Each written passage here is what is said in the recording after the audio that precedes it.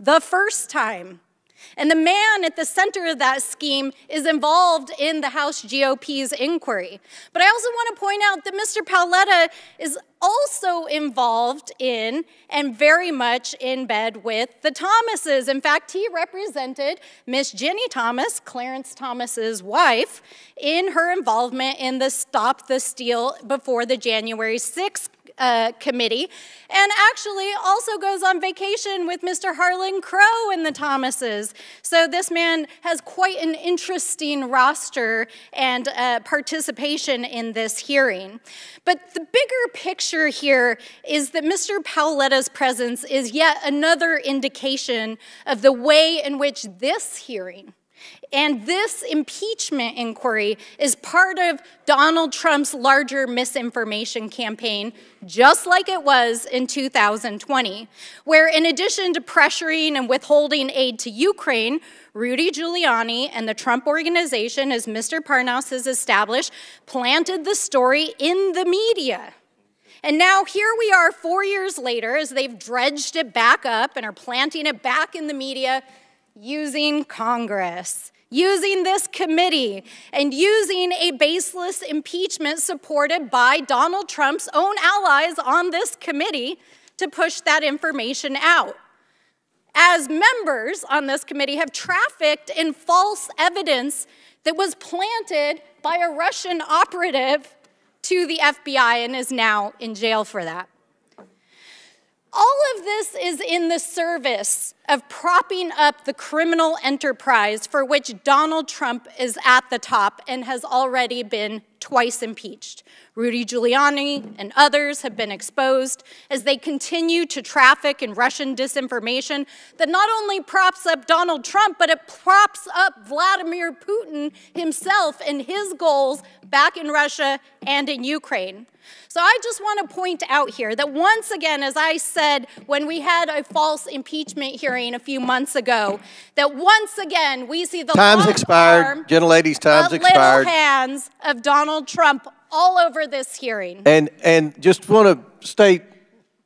You made a mistake and said that uh, Mr. Parnas was a Republican witness. He is very much your witness, not a Republican witness. But I was a Republican for Donald Trump. Mr. Chairman, I do not Pursuant, believe I said that, so we can... Pursue it to the previous order, the chair declares the committee in recess due to votes. Uh, subject to the call of the chair, we will reconvene 10 minutes after the three votes. All right.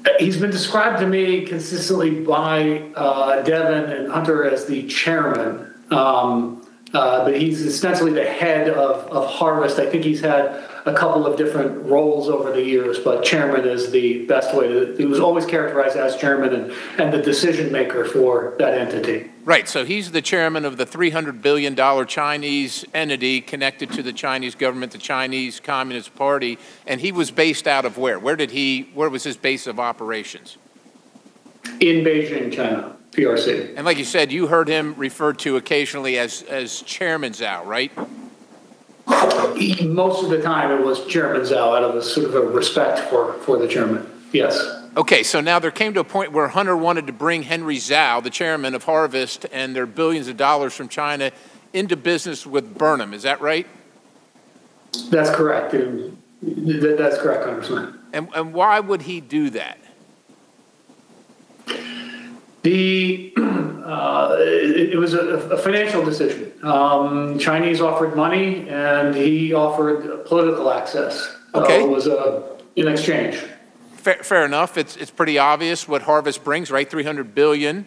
Um, but why would Harvest be interested in Burnham versus other financial institutions? I'm sure there are other ones out there, and like you said, it was fairly small. Harvest is 300 billion. Why would they care about uh, about this small Burnham? What, what what was the interest for them?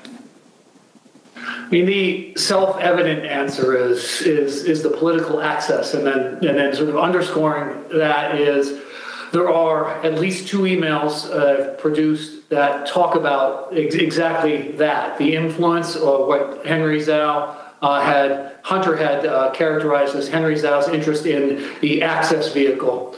Um, so that was uh, that was sort of explicit and, and in writing. Okay, so Joe Biden was going to sit on the board of a Chinese company connected to the highest levels of the Chinese government, the Chinese Communist Party. Stepping back in your dealings with Hunter, what was the value that Hunter brought to the table? Uh, it was it was the access to the the inducement um, to induce companies like this Harvest Group to participate in Burnham. So it was uh, a uh, we'll call it relationship capital that he brought to the table, not financial capital. Relationship capital economic that, value to the business. Relationship capital that you described as the Biden lift. What was the Biden lift? Biden lift was, was simply Hunter's access to his father and his father's power and prestige uh, in influencing the growth of a financial services business, which largely reliant on its reputation and ability to attract uh, other other clients. I'm running out of time here, but uh, it sounds like a quid pro quo to me, uh, sir. What, what, did Harvest and Harvest did in fact invest money in in in Burnham, uh, in Burnham? You called it a material inducement. Can you explain what that means? And do you know how much yeah. the Chinese paid? I believe uh, I was out of the picture toward the end of 2015. I believe that they ended up paying $4 million uh, into Burnham. Uh, I believe, though, as a result of the legal entanglements that I encountered, that the transactions didn't happen in the way people expected or that they had written about in, in terms of uh, what the Chinese were expected to do. All right, Mr. Galanis, I just want one last question. I'm going to show you a draft email that you provided to the committee uh, Mr. Ch- uh, Mr. Chairman, I yield. Objection on time. Uh, good job. Chair now recognize Ms. Crockett for one minute or five minutes. one minute. All right. Uh, first of all, uh, Mr. Bobulinski, do you know who Elections LLC is? Yeah. Mike. Well, it's not a who. Okay. Well, do you know what it is? Yes, it's a LLC. Okay, and is it the LLC that your attorney works for? Uh, I believe so, yes. You believe so, okay. Um, so at this point in time, I'd ask unanimous consent to enter into the record a document indicating that the law firm representing Tony Bobulinski was paid $10,000 as recently as January of this year by the Save America PAC, which you may recognize as Donald Trump's PAC. Without objection. Thank you. Now, so far in this hearing, it has felt like the worst episode of The Apprentice. I'm sure you're familiar with that show.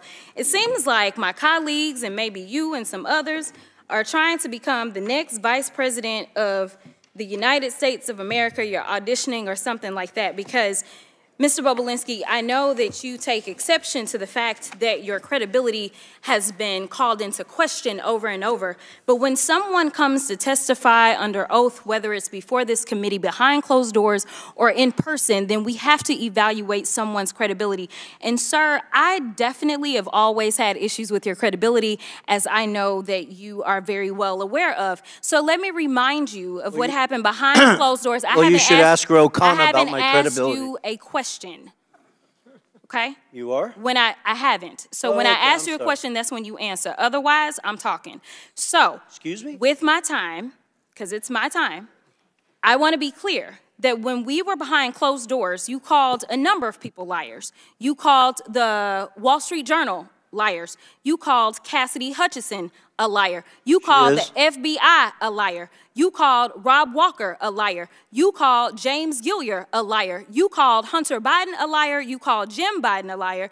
And just today, you added to your list, you called my colleague, Congressman Mr. Goldman, a liar as well. It seems like, according to you, the only person that's telling the truth is you, and everyone else is lying.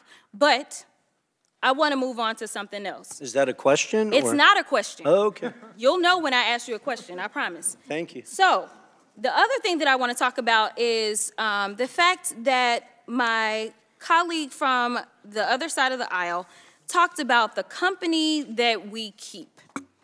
And she wanted to go through a list of people that she felt like were bad company because right now the majority has been relying upon the testimony of someone who's currently sitting in federal prison. And we know that your company is the company of somebody who's been found liable of fraud, uh, as well as defamation, as well as sexual uh, assault, and for whatever reason can't pay his bills uh, at this point in time. But I'm going to ask Mr. Parnas, so this is a question to him. Are you aware if Trump had any associates that have been found guilty of anything? Yes, lots of them, Lots of them. me included. You included. Okay, so when you were called here to testify, you weren't called here to testify for any other reason than to tell the truth. Is that correct? Yes, Congresswoman. Now, we started this whole sham off because of the 1023. And that was debunked by you, was it not? Yes, Congresswoman. Way before we started this impeachment inquiry. And you mentioned a number of times this guy by the name of Rudy Giuliani. Yes. Now, you know, everybody is so stressed about the fact that Hunter ain't here today. But you know, Hunter came and testified behind closed doors for over six hours. And every single one of them, they weren't limited to five minutes. They could ask whatever they wanted to. And there's a full transcript of his testimony. So I don't know what else they wanted to do besides the fact that they wanted to put on a show. But let me tell you something. This whole thing is based upon something that Giuliani came up with. Yes. And and we tried to subpoena him if I'm that's what I remember. If anybody else remember, we tried. We asked. We said, "Hey, we should subpoena Giuliani." But you know, kind of like when we were trying to get his cell phone, they shut it down, right? Like they don't want the facts. But you would agree with me that considering the fact that you were working under Rudy Giuliani at the time that you went over to Ukraine, that he has maybe some valuable information that he could offer this committee as to whether or not there's anything that we should be investigating in the first place. Absolutely, Congresswoman. I wish that this committee would subpoena Rudy Giuliani, put him under oath alongside me to get to the bottom of the truth of what actually happened in Ukraine and to the manipulation that Trump and Giuliani and the team went to do. I, I agree with you. But somehow it doesn't look like we're going to get there. And I thank you for your time. time's With that, ex- I'll yield. Time's expired. Chair now recognizes Mr. Biggs from Arizona. Thank you, Mr. Chairman. Mr. Galanis, on May 9th, 2014, you received an email from Devin Archer confirming, or you wrote an email uh, confirming that Ms. Baturina was investing with uh, Burnham Investments, uh, 15, 15 to 20 million dollars. Is that true? Yes, Congressman. And uh, let's talk about the predicate for that. Uh, Ms. Baturina is the richest woman in Russia, and you knew her. And were you invited to a party that she attended? Yes, in, in, uh, in Brooklyn, yes. Let's have the invitation up, please. And here's a copy of the invitation that you received. Is that right? Don't yet see it, Congressman. Uh, I did receive a, uh, an email invitation, so Yeah, yes. an, an email invitation. And did you go to that party? Yes, that, I did attend that party, yes. And was Hunter Biden at that party? Yes, he was. And we know that he was because we have a confirmation of his calendar, which is the next exhibit. It was noted on there, and he showed up there. And so all of that's true. It's all verified right there. And um, Yelena Baturina and her then husband Yuri, they were at the party, right? Correct. With Devin Archer as well. That's correct. And during that party, you guys, uh, uh, Hunter pulled you guys, the people we just named, pulled them away from where the party is, and you go to a separate little area where it's quieter because there was over 100 people at that party. Is that true? That's true, yes. And all of a sudden, Hunter says, Okay, I'm going to make a phone call. He makes a phone call, does he not? He does. To whom? Uh, he called his father. Then Vice President Joe Biden, who was Vice President at the time. What was said on the call, please? Um, Wait a second. Before, the- the you tell was- us, the way, reason you know it is because he put it on speakerphone, right? He did. After he said hello, um, and then he put it on speakerphone. So I was first party to hearing it. And uh, initially, sum it up. His, our, I'm sorry, Congressman, I talked over you. The Yeah, please, please, please sum up, please sum up that phone call for us, Mr. Galanis. Okay, it, it, it, it was a relatively short call, but it, it was, uh, he, he indicated that he- our friends had come in from out of town, um, that then, uh, uh, the, the exchanges it testified was, was the, related to, um, the, they were going to proceed, things were going to proceed. Um, and, uh, he said, uh, the vice president had said to look after my boy. And it was, And, um, and it was five days after that party that you received word from Devin that Ms. Baturina was in for 15 to 20 million dollars with you guys, right? that's correct. Let's go to a different uh, issue. Let's go, let's go to the, the harvest issue.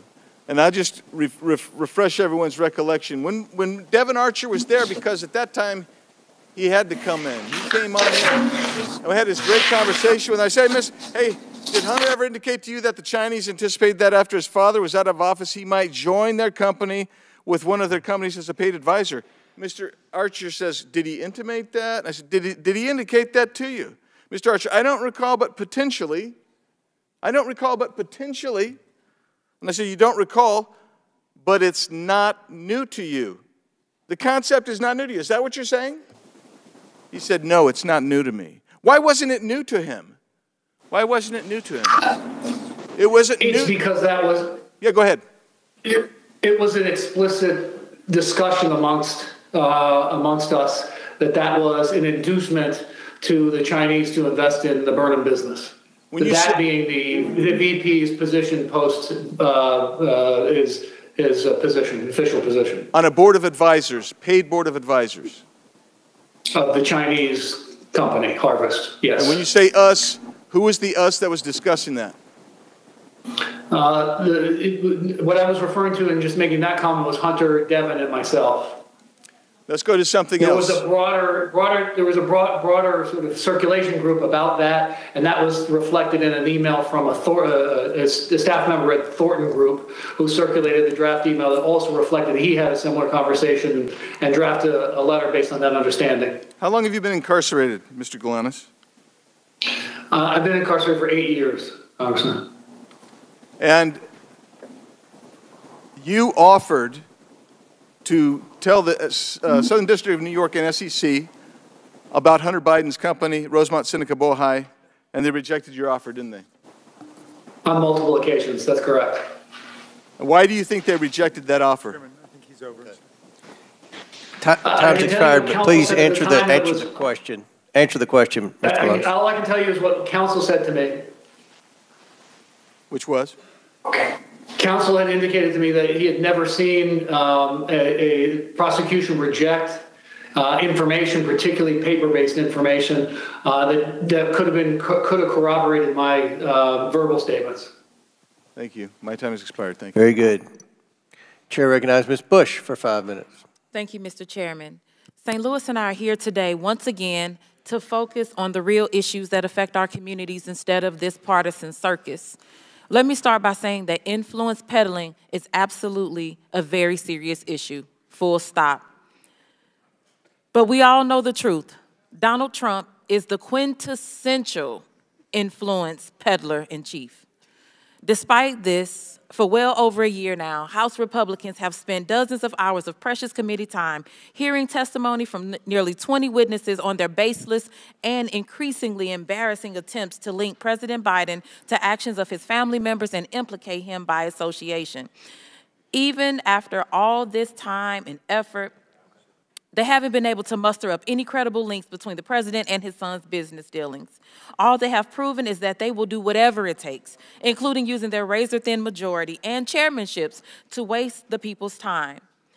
Let's let today's hearing be the final nail in the coffin of this sham impeachment investigation, I urge my Republican colleagues to admit that their quest to impeach the president has completely collapsed. They have fallen short, and with each passing deal, they are losing votes and credibility, even within their own conference. It's time for them to move on. But that's not likely to happen because my Republican colleagues don't care about responsible governance or making people's lives better. They don't have an affirmative agenda. They would rather distract us all with these unfounded accusations against the president. So it's no coincidence that under Republican leadership, 2023 marked the most unproductive year in modern history for Congress. Aside from a failed impeachment investigation, an unprecedented three-week stint without a, without a speaker, and bringing our country to the brink of a catastrophic government shutdown multiple times. Republicans have done absolutely nothing to demonstrate why they deserve to control any member, any chamber of Congress, let alone the White House, for which their cult leader, a twice impeached, four times indicted former president, is running to gain influence and control again. They're just grasping at straws, and it'd be comical if it wasn't leading to real harm and real hurt in our communities. The people of our country are the ones paying the price for their failure to actually govern. Instead of wasting all of our time, our hours, and hours and hours going down fake rabbit holes and amplifying baseless conspiracies. We could focus on actual policy. We could focus on substance. We could focus on saving and improving the lives of our constituents not misusing precious time and resources of this committee. What I'd rather focus on is the people who don't have the money and resources to buy influence, the millions of people in our districts who have been harmed by the ongoing refusal of the federal government to take full responsibility for the Manhattan Project waste and who are still getting sick from exposure to toxic radioactive waste their own government created. It still lingers in communities all across the country, like in St. Louis, Missouri, where proper cleanup still remains undone. I am ranking member on the Subcommittee on Economic Growth, Energy Policy, and Regulatory Affairs. I have repeatedly requested a hearing on Manhattan Project waste and its countless victims. I'm still waiting. We could focus on ending the crisis of gun violence in this country. Every day, 327 people are shot in the United States. Every year, 42,654 people die from gun violence. More children die from guns than anything else in this country. Why are we not acting to protect them? How are we not treating this like the public health emergency that it is? We could focus on improving the lives of incarcerated individuals and weaning ourselves off of the carceral state. A currently incarcerated individual is your star witness today. I applaud your inclusivity. And surely, if folks convicted of crimes can testify before Congress, they should be allowed to vote. Why not enfranchise them? What about reproductive rights and freedom? We have a public health crisis in this country where millions of people of reproductive age can't get the care that they need. People in St. Louis are being forced to give birth against their will. Republicans need to use abor- they need and use abortion care just like the rest of us. Why not meaningfully address this issue? We need to focus on ending the atrocities in Gaza and Israel. Since January, malnutrition in children under 5 has doubled, nearly doubled. Global experts warn Famine is imminent for 1.1 million people, half the population due to catastrophic food insecurity. Why are we not acting to reinstate UNRWA, prevent famine and the spread of disease, and ending the continued slaughter of Palestinians? We do not have time, have infinite time and resources. I will stop there. Thank you, and I yield the balance of my time to Rep. Goldman. Thank you very much, uh, Ms. 10 Bush. seconds. I want to just point to a, uh, a photo here. Mr. Bobulinski, you have testified that Cassidy Hutchinson's account that you met Mark Meadows, then Chief of Staff for Donald Trump, at a Trump rally in Georgia behind Secret Service cars. You were wearing Time's a mask. expired. Sir, you went uh, over a minute late with uh, Mr. Perry. If we could have a little extra time. If you, the Trump rally that you said that Time's was expired. lying- Chair now recognizes Mr. Sessions for five minutes. Mr. Chairman, could we have some basic No, equity? we- uh, If there? someone else wants to yield, she had eight seconds to yield him, and he's got up here with a speech. He's already No, uh, have a simple abused his privilege by making a motion a that wasn't even a motion. Chair has Well, over a ruled, the chair has ruled, the chair has ruled. What are you- what are you afraid of, Mr. Chairman? Recognize your, What are you afraid of? Why don't you let me ask What the you- question? chair recognizes the gentleman from, oh, what purpose do you seek recognition, Mr. Biggs? Unanimous consent to introduce the documents into the record. Without objection? Thank you, So Mr. ordered. Chairman. Here, here they are. Um, One is the invitation that was mentioned. Another is Hunter Biden's uh, calendar. Another is the email mentioned uh, confirming that uh, uh, Yelena Baturina was going to invest 10 to 20 million dollars with him. Another one is page um, 180 of the Galanis interview, page 56 of the transcribed interview of Hunter Biden, and also pages 41 and 42 of the Galanis uh, interview. Without objection, so ordered into the Chairman, record. Now, UC Chair, rec- what purpose do you seek recognition, Mr. I, I have a UC motion, Mr. Chairman. Proceed. Um, I would like to enter into the record the portion of the Devin Archer transcript where he says that Yelena Baturina never had any business dealings with Hunter Biden and that money went into their joint account was done by mistake. By mistake. Okay. Without objection. And, so Mr. Chairman, I I have one UC request as well. Proceed. This is from Salon Magazine. It's embarrassing. Republicans worry they have zero accomplishments to run on in elections. Without objection, so ordered. Chair now recognizes the gentleman from Texas, Mr. Sessions, for five minutes. Mr. Chairman, thank you very much. I'd first like to uh, uh, enter into the record uh, 302s that were uh, done with Mr. Bobulinski, what's known as Exhibit A, 400A. Thank you very much. Mr. Bobulinski, thank you for being here. Mr. Parnas, thank you for being here, and those of you who are appearing uh, uh, extraneously on on our screen. Mr. Bobulinski, tell me about, very quickly, about the professionalism of the organization that you work for in terms of paychecks, getting paychecks, uh, providing the IRS with documentation uh, of people who were paid out of the organization. I'm not sure I'm following your question. Were you ever paid? Uh, I was not. So you were never paid by this organization. I was not. Did you ever receive any enumeration? When we were in the process of trying to shut down Sinohawk Holdings LLC and Oneida Holdings LLC, I was compensated, uh, what, it wasn't a compensation, it was a reimbursement of $50,000 of money I'd come out of pocket, traveling around, paying for hotels and stuff like that, so. So, in other words, people did not get paid, or you didn't get paid that you were aware of. Were you aware that other people were being paid? Uh, The Biden family was paid. Hunter and Jim Biden were clearly paid millions of dollars. And how would you think that that uh, information would be transmitted about them pa- receiving that payment uh, and going uh, to the IRS? I'm not sure of those specifics. I'm just aware that they received those millions of dollars, obviously based on the brave uh, testimony of uh, Shapley and Ziegler that came public with a bunch of information, and then uh, Senator Johnson and Senator Grassley's report. I never saw, the only bank account I ever saw is the one I set up at JP Morgan for Sinohawk Holdings and Oneida Holdings LLC. JP Morgan was well aware that the Biden family were owners in that business. They authorized it, approved it, and What an social operating business. security number was utilized to set up that account?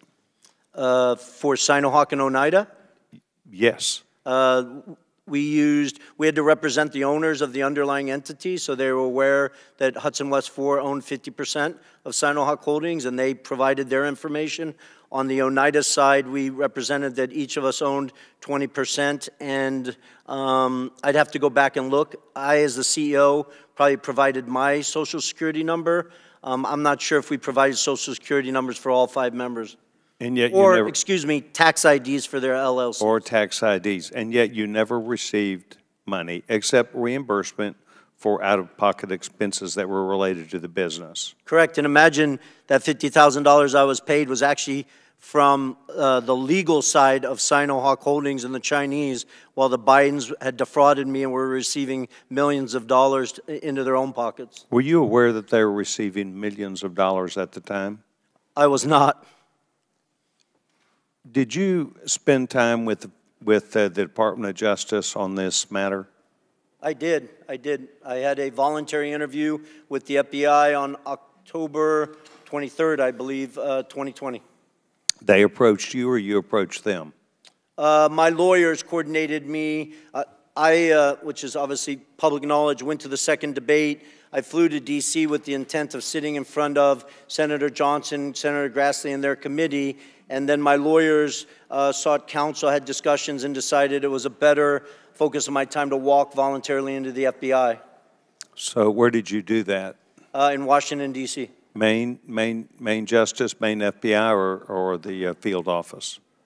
I believe it was the leading field office. They didn't want to do it in Main Justice for some uh, uh, their reasons. They decided. I would have gone wherever they asked me to go. Did they tell you at the time that you were providing information that if you provided information that was not true and correct, that you could be held liable for that under criminal statute? Yeah, yes, of course. I appreciate you asking that question. I was uh, operated as if I misrepresented, misstated, lied, that I was committing criminal offenses, which I take very seriously based on the fact that I was willing to die for this country. And to just correct Ms. Crockett's statement earlier, I didn't accuse the FBI of lying. I stated in my transcribed interview that the FBI made mistakes in their 302. My lawyers never saw that document after my interview until it was made public to the world. And then you attempted to correct that 302. I did. Is that the same 302 known as Exhibit 400A that I have entered in the record today? is. Do you have any other dispute with that, and have you, have you looked at it, and do you have any other dispute? Well, there's numerous mistakes in it. Okay, thank you very much. Do you have any reason to believe that all of these uh. SAR reports that have come out of banks were all fraud? And- as and we- Gentleman's time's expired, but he asked a question about the SARS report. No, I mean, just the, the number of SARS reports should give every American pause. The average American in this country will never receive a single SAR in their entire life. So for a family or an individual to have over what I've publicly seen, 150 of them, is just extraordinary. Okay. Thank you very, ch- I want to thank all the witnesses that are here today, Mr. Chairman. Ch- Thank you very much. Gentleman's time's expired. Chair now recognizes Mr. Frost. Or who? I thought you said Frost. Oh, Mr. Casar. Okay, Frost was next. Casar. Thank you, Chairman. And, and if I could have my full five minutes, I'd appreciate Yep, that. five, five, uh, set, reset the clock for five minutes for Mr. Casar. Thank you, Chairman. While we clearly disagree on the merits of this meritless investigation, I hope, Chairman, that we can at least come to an agreement on some basics. I believe that you and I can agree that presidents and White House officials should not be unduly influenced by foreign powers. So, Chairman, I'd be happy to yield to you briefly for a yes or no. Can we all agree that White House officials should not be bribed or unduly influenced by foreign actors? It's your time. I, you can ask, we have witnesses I would, I would assume that you would agree. We have, if you, we have witnesses, if you want to ask the witnesses question or you want to waste time with me. I'm not wasting time with you. I think that I'm, we've been disagreeing all day. I hope we can come to an agreement that White House officials should not be bribed or unduly influenced by foreign powers. I think you and I agree on this point. I see you nodding your head. I assume that that is a yes. Um, I'm glad that we can work as an oversight committee on investigations, uh, do the work we need to do, and make sure that no one in the White House has betrayed the public trust. We've spent countless hours talking about Hunter Biden, investigating every single person that seems like he's ever shaken hands with. We've not found a shred of evidence that connects it to the President of the United States or anyone with any say over US policy.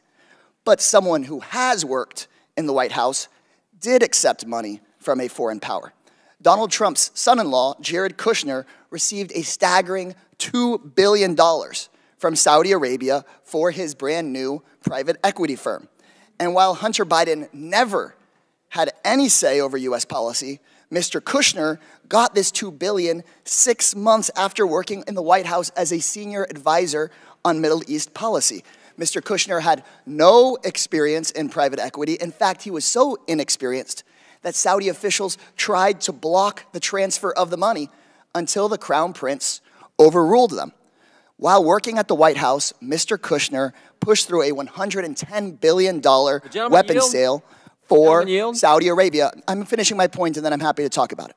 He then defended the deal in the wake of the Saudi government's murder of journalist Jamal Khashoggi. And while this may all just be a coincidence, there's many questions. Like, was any of this money passed along to Trump? Was the Saudi money a thank you for a job well done in the White House? Was Jared given this money in exchange for anything else? Or did someone with no experience just have a lucky payday? These are questions we should have answers to. Would the These gentleman yield for a second? That the Oversight Committee should look into. Uh, but we can just add another question. Uh, what was the role that Jared Kushner played in covering up the assassination and dismemberment of Jamal Khashoggi, ordered by the ask that Royal question, Conference? Ranking member. And so, yield. so I want to know if Hunter Biden had accepted $2 billion from the Saudi government, I'm sure we'd be looking into that today. And, Mr. Chairman, I believe we can agree that there should not be undue influence in the White House.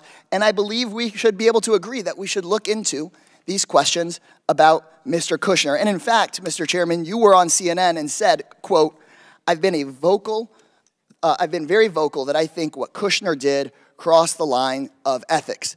And then in our deposition of Hunter Biden the other day, when we were discussing Mr. Kushner, you said, Mr. Chairman, and I quote from the deposition, when we deal with influence peddling, we'll ask about Jared Kushner. Well, today's hearing is titled Influence Peddling. So we are here. So, Mr. Comer, I would love to hear from you. Can we fulfill our responsibility as an oversight committee and determine if Saudi Arabia bribed or unduly influenced Jared Kushner or other White House officials? Is that something we'd be willing to look into? We've already had a conversation with Ms. Porter. I'm going to answer one time. Ms. Porter and I have pledged to work on influence peddling legislation. We'll take up all the people who have been accused of influence peddling. We'll try to determine whether Jared Kushner has a real business. We haven't been able to find a real business that the Bidens have had yet. Now, just still your time, Mr. So, so could we expect to subpoena Mr. Kushner's correspondence with the Saudi government or his firm's financial records or financial transactions between Mr. Kushner and his father-in-law? Is that something that we would consider doing as part of that hearing you just discussed? What was the question? If we, are, if we are serious about looking into foreign money, I saw recently a, a poster board here about $100,000 to a car dealership. Are we going to be serious about the $2 billion from the Saudi government to Mr. Kushner? Would that, my question is, would we be at least subpoenaing Jared's correspondence with the Saudi government and his firm's financial records? Can we commit to doing that? I think it's important to see if, they, if there were real legitimate businesses. And if What- there what was, what- let me ask you a question. What was the what business was Hunter Biden in? We heard explicitly from Mr. Biden. We heard explicitly from Mr. Biden about his extensive business record and his experience on boards. we heard about time- that. time's Mr. expired. Kushner, on the other hand, Chair now recognizes billion Mr. Fallon for five minutes. Uh, Mr. Chair, That's a before I, shame. before I start my questions, I'd like to uh, enter into the record, uh, submit to the record an article from the Kiev Post, uh, and, then a second article from the Kyiv Post uh, entitled "Prosecutor General Shokin Resigns," and it's updated. If I get another Without objection to order. uh, Thank you, Mr. Chairman. I sat in on the entire seven-plus hour deposition that Hunter Biden gave to this committee, and one of the things that stood out to me was his assertions with a rather braggadocious flair of his business experience and his acumen and his, his impeccable qualifications. He claimed, with quite some vigor, I might add, that he was a brilliant, accomplished, and highly sought-after business commodity. He's very successful, and he had an unparalleled resume that he recited to us chapter and verse to prove it. That was at least the face his lawyers, this administration, and the House Democrats wanted him to wear. Of course, there's another possibility, one that this pesky little thing we call reality, that he was a spoiled, entitled East Coast patrician with a senator and then VP daddy who squandered his many life advantages and spiraled into a decadent behavioral pattern of narcissistic excess and criminal addiction. And to feed his very large carnal appetites, he acted as his family's bagman in an influence peddling and access selling scheme that netted the Biden tribe over $24 million in illicit foreign cash. Lots of money, little effort in a get rich quick scheme. If he was such a skilled and gifted businessman as he claimed, his services would be sought after, in fact, even fought over. Mr. Bobulinski, to your knowledge, how many Fortune 500 companies retained Hunter Biden on their board of directors? Uh, now or in his? Ever. Uh, I can't confirm any. Yeah, because there aren't any. Zero. How about how many energy companies retained Hunter Biden? I'm, I'm sorry, how many American energy companies retained Hunter Biden on their boards of directors? Zero. Zero, nada, correct. There was one energy company that retained him on their board of directors. Do you know what that name of that company was? Yes, Burisma. Burisma, correct. Where's Burisma located? Ukraine. Really? That's interesting because, um, and he was hired actually for no small sum, a million dollars a year. Hunter Biden said in his deposition he could bring, and Mr. Chairman, I apologize for laughing, but he said his corporate governance to the table. He brought something far more valuable than his corporate governance. He brought his, uh, in, in his fictitious business acumen, he brought his daddy with him. You see, Joe Biden just happened to have been given the country of Ukraine in his portfolio of responsibility to oversee by the Obama administration. So let's go over some facts, Mr. Chairman. Fact Burisma and CEO Mykola Zlochevsky had been investigated for corruption. Fact in September 2015, then U.S. Ambassador to Ukraine Jeffrey Pyatt specifically mentioned Burisma as a corrupt entity. Fact Burisma was paying the son of the vice president of these United States a million dollars a year to serve on their board. Fact, December 2015, Joe Biden visits Ukraine, demands Viktor Shokin, the prosecutor general of Ukraine, who's investigating Burisma, his son's boss, be fired. Fact, uh, February 2nd, 2016, Kyiv uh, Post reports Viktor Shokin won a court order to seize assets of Burisma CEO Mykola Zlochevsky. Two weeks later, fact, Shokin resigns. President Poroshenko called on him to resign. He resigned. He essentially was fired at the behest of Joe Biden. Fact, 2016, February, two weeks later, there's a little email sent from Vadim Pozharsky, COO of Burisma. He's an executive of Burisma.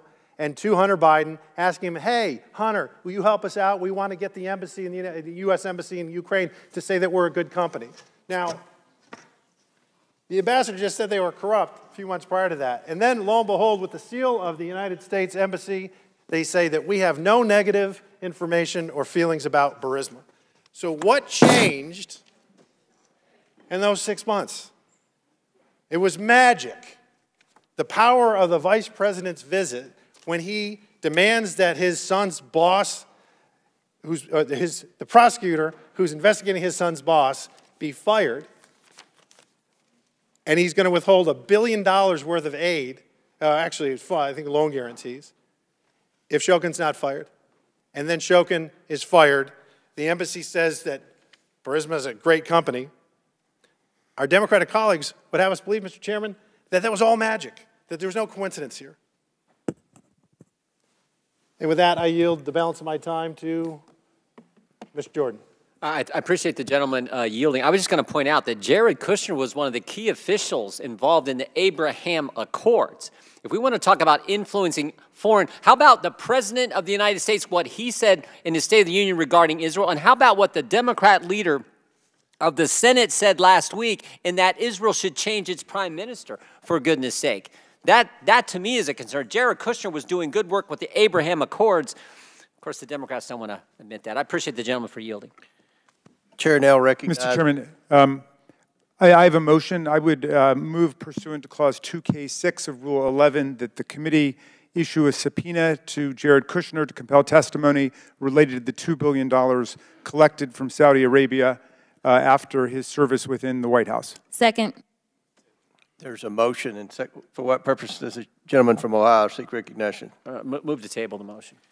There's a motion is not the motion to table is not debatable.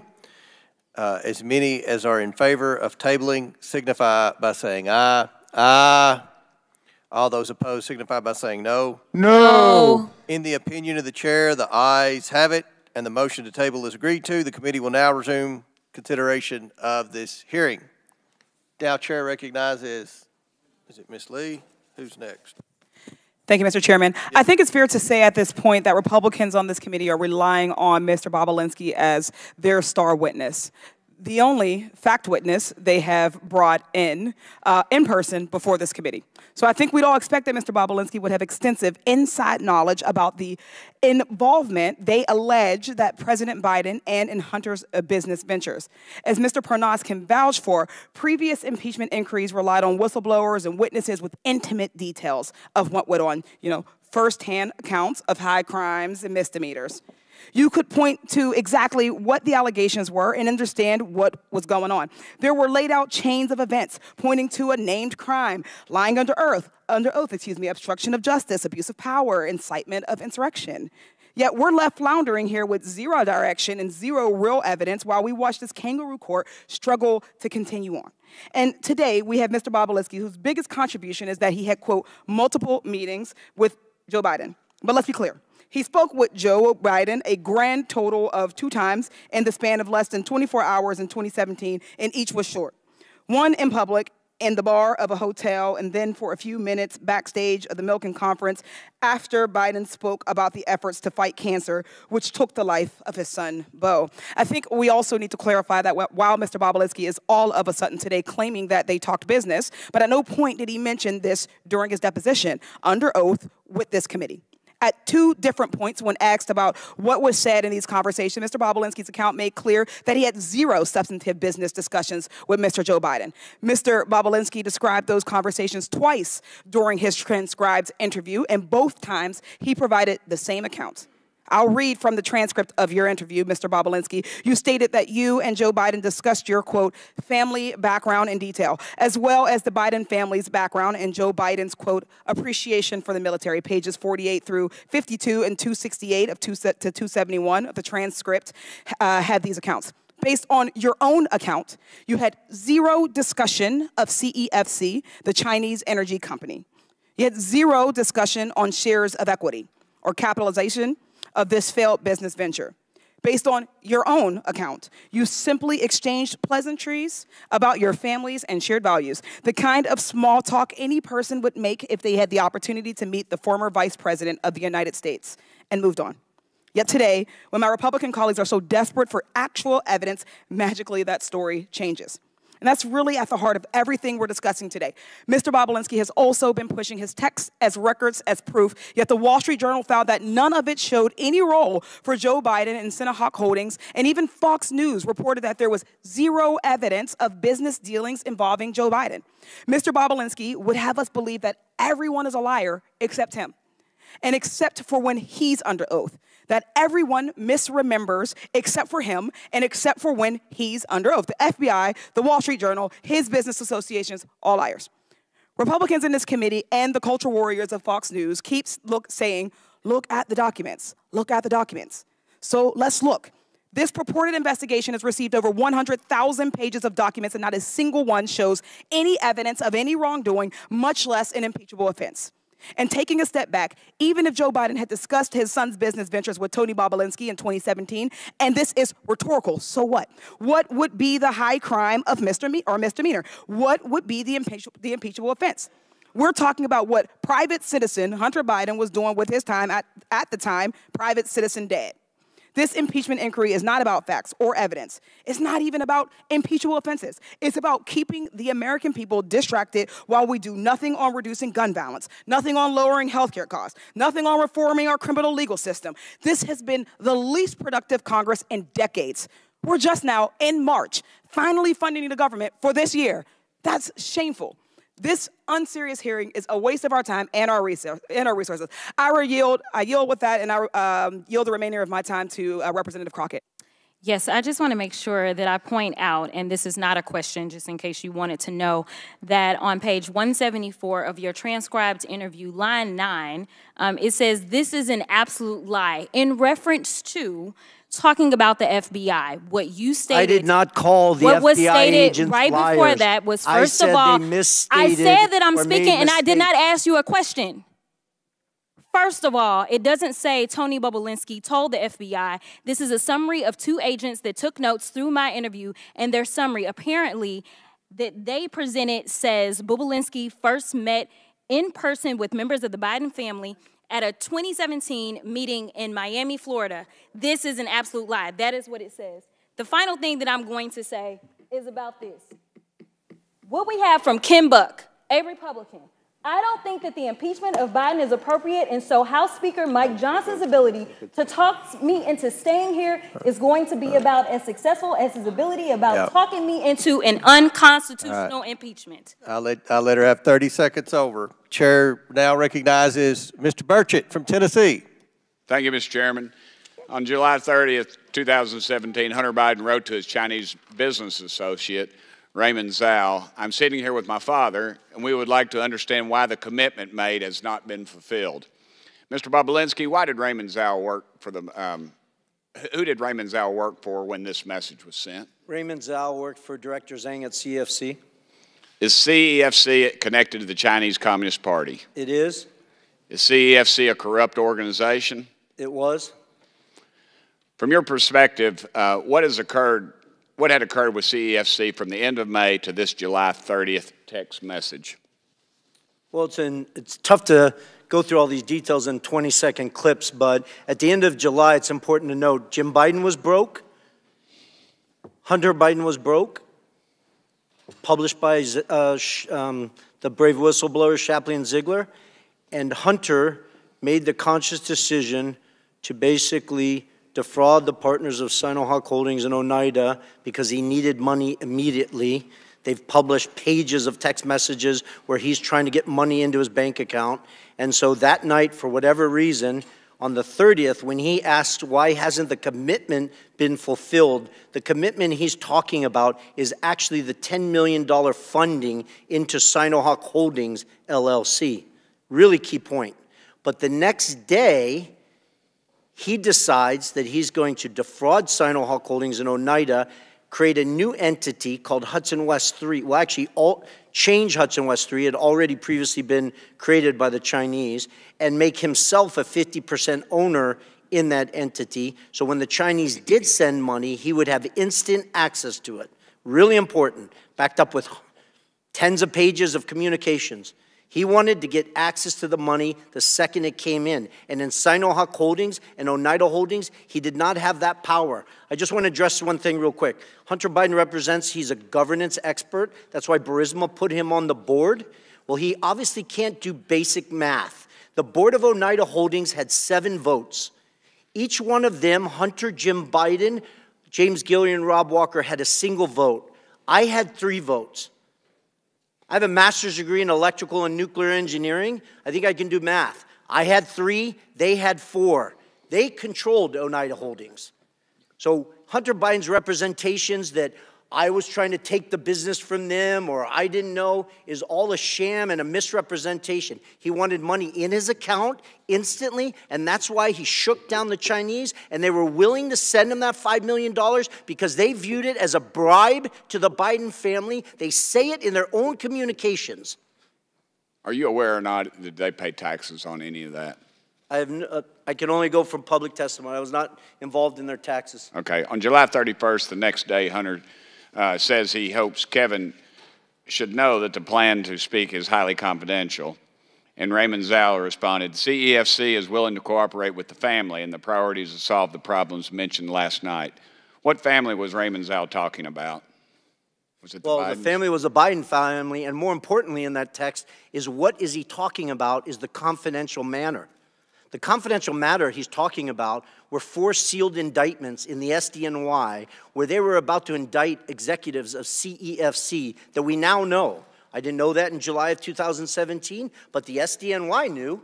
Charles McGonigal, who's now apparently going to serve 78 months in prison, ran counterintelligence for the FBI in New York City, where Chairman Ye was dropping $50 million of cash for penthouses in Manhattan. So who you should be asking all these questions are the Department of Justice, the SDNY, the FBI, because they have troves of evidence that back up what was going on in July 2017 and in August 2017. So I apologize, Congressman, to be so passionate and to take your time, but this is what I need you guys, or I, the focus has to be of your oversight committee. This involved the Chinese Communist Party. They were doing a transaction with Rosneft, which was a Russian sanctioned U.S. sanctioned company at the time, and the Biden family was right front and center in the middle of it. Thank you.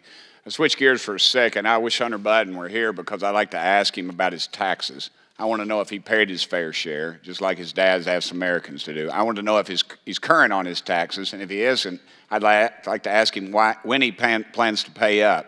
Mr. Bobulinski, you're a businessman. Did you pay your taxes? I did. Mr. Bobulinski, actually, he actually pays his taxes unlike the president's son, and yet Democrats on this committee act like Hunter is the believable one out of, out of you two. Joe Biden has no right to lecture the American people about their taxes until he gets his own house in order. Thank you, Mr. Chairman.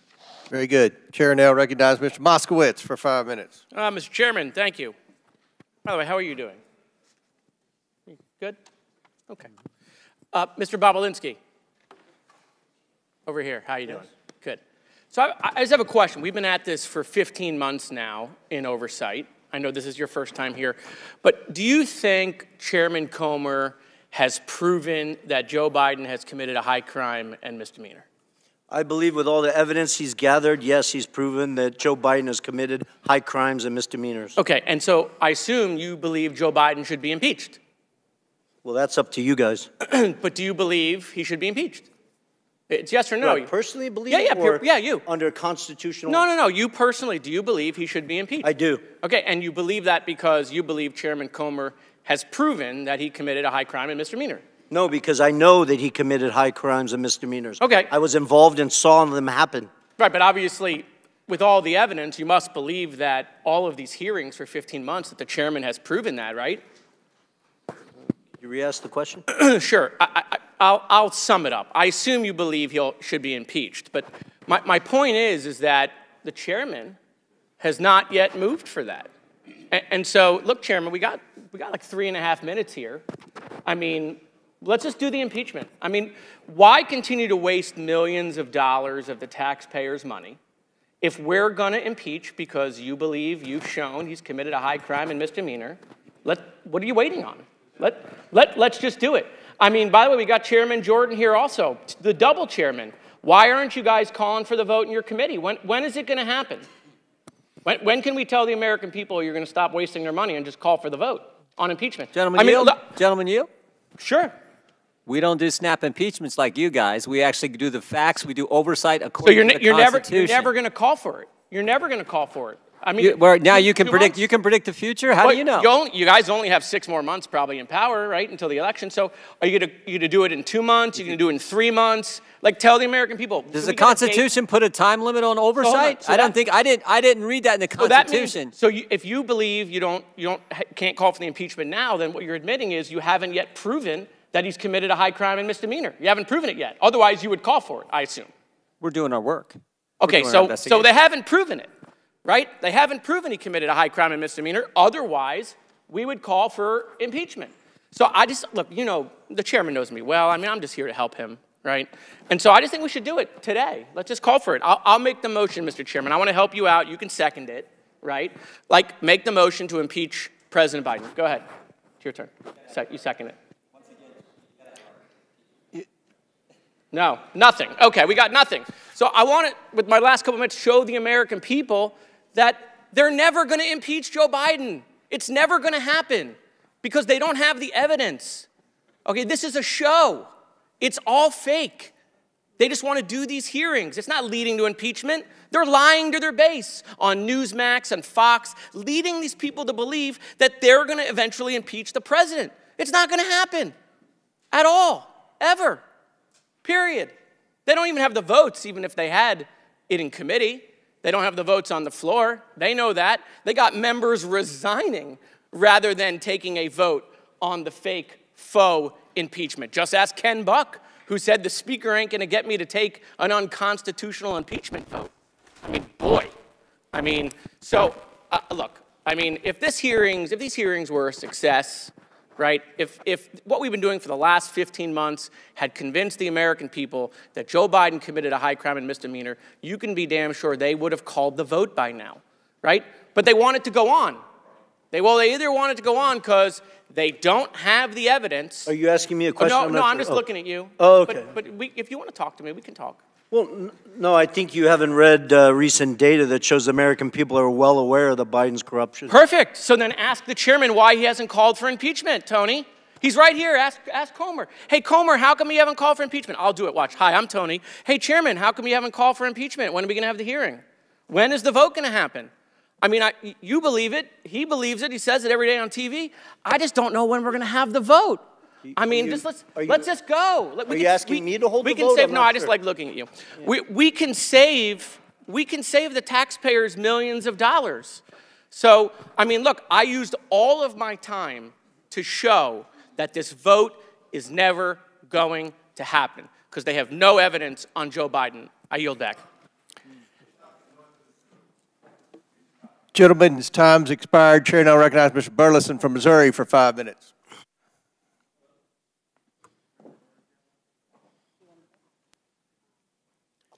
Switch mics, Re- restart the clock. So don't address me. Look at the mayor first. Who served in prison for felon, not me? You have all, everything you have. Keep talking. You'll join your friends. We'll get you a mic.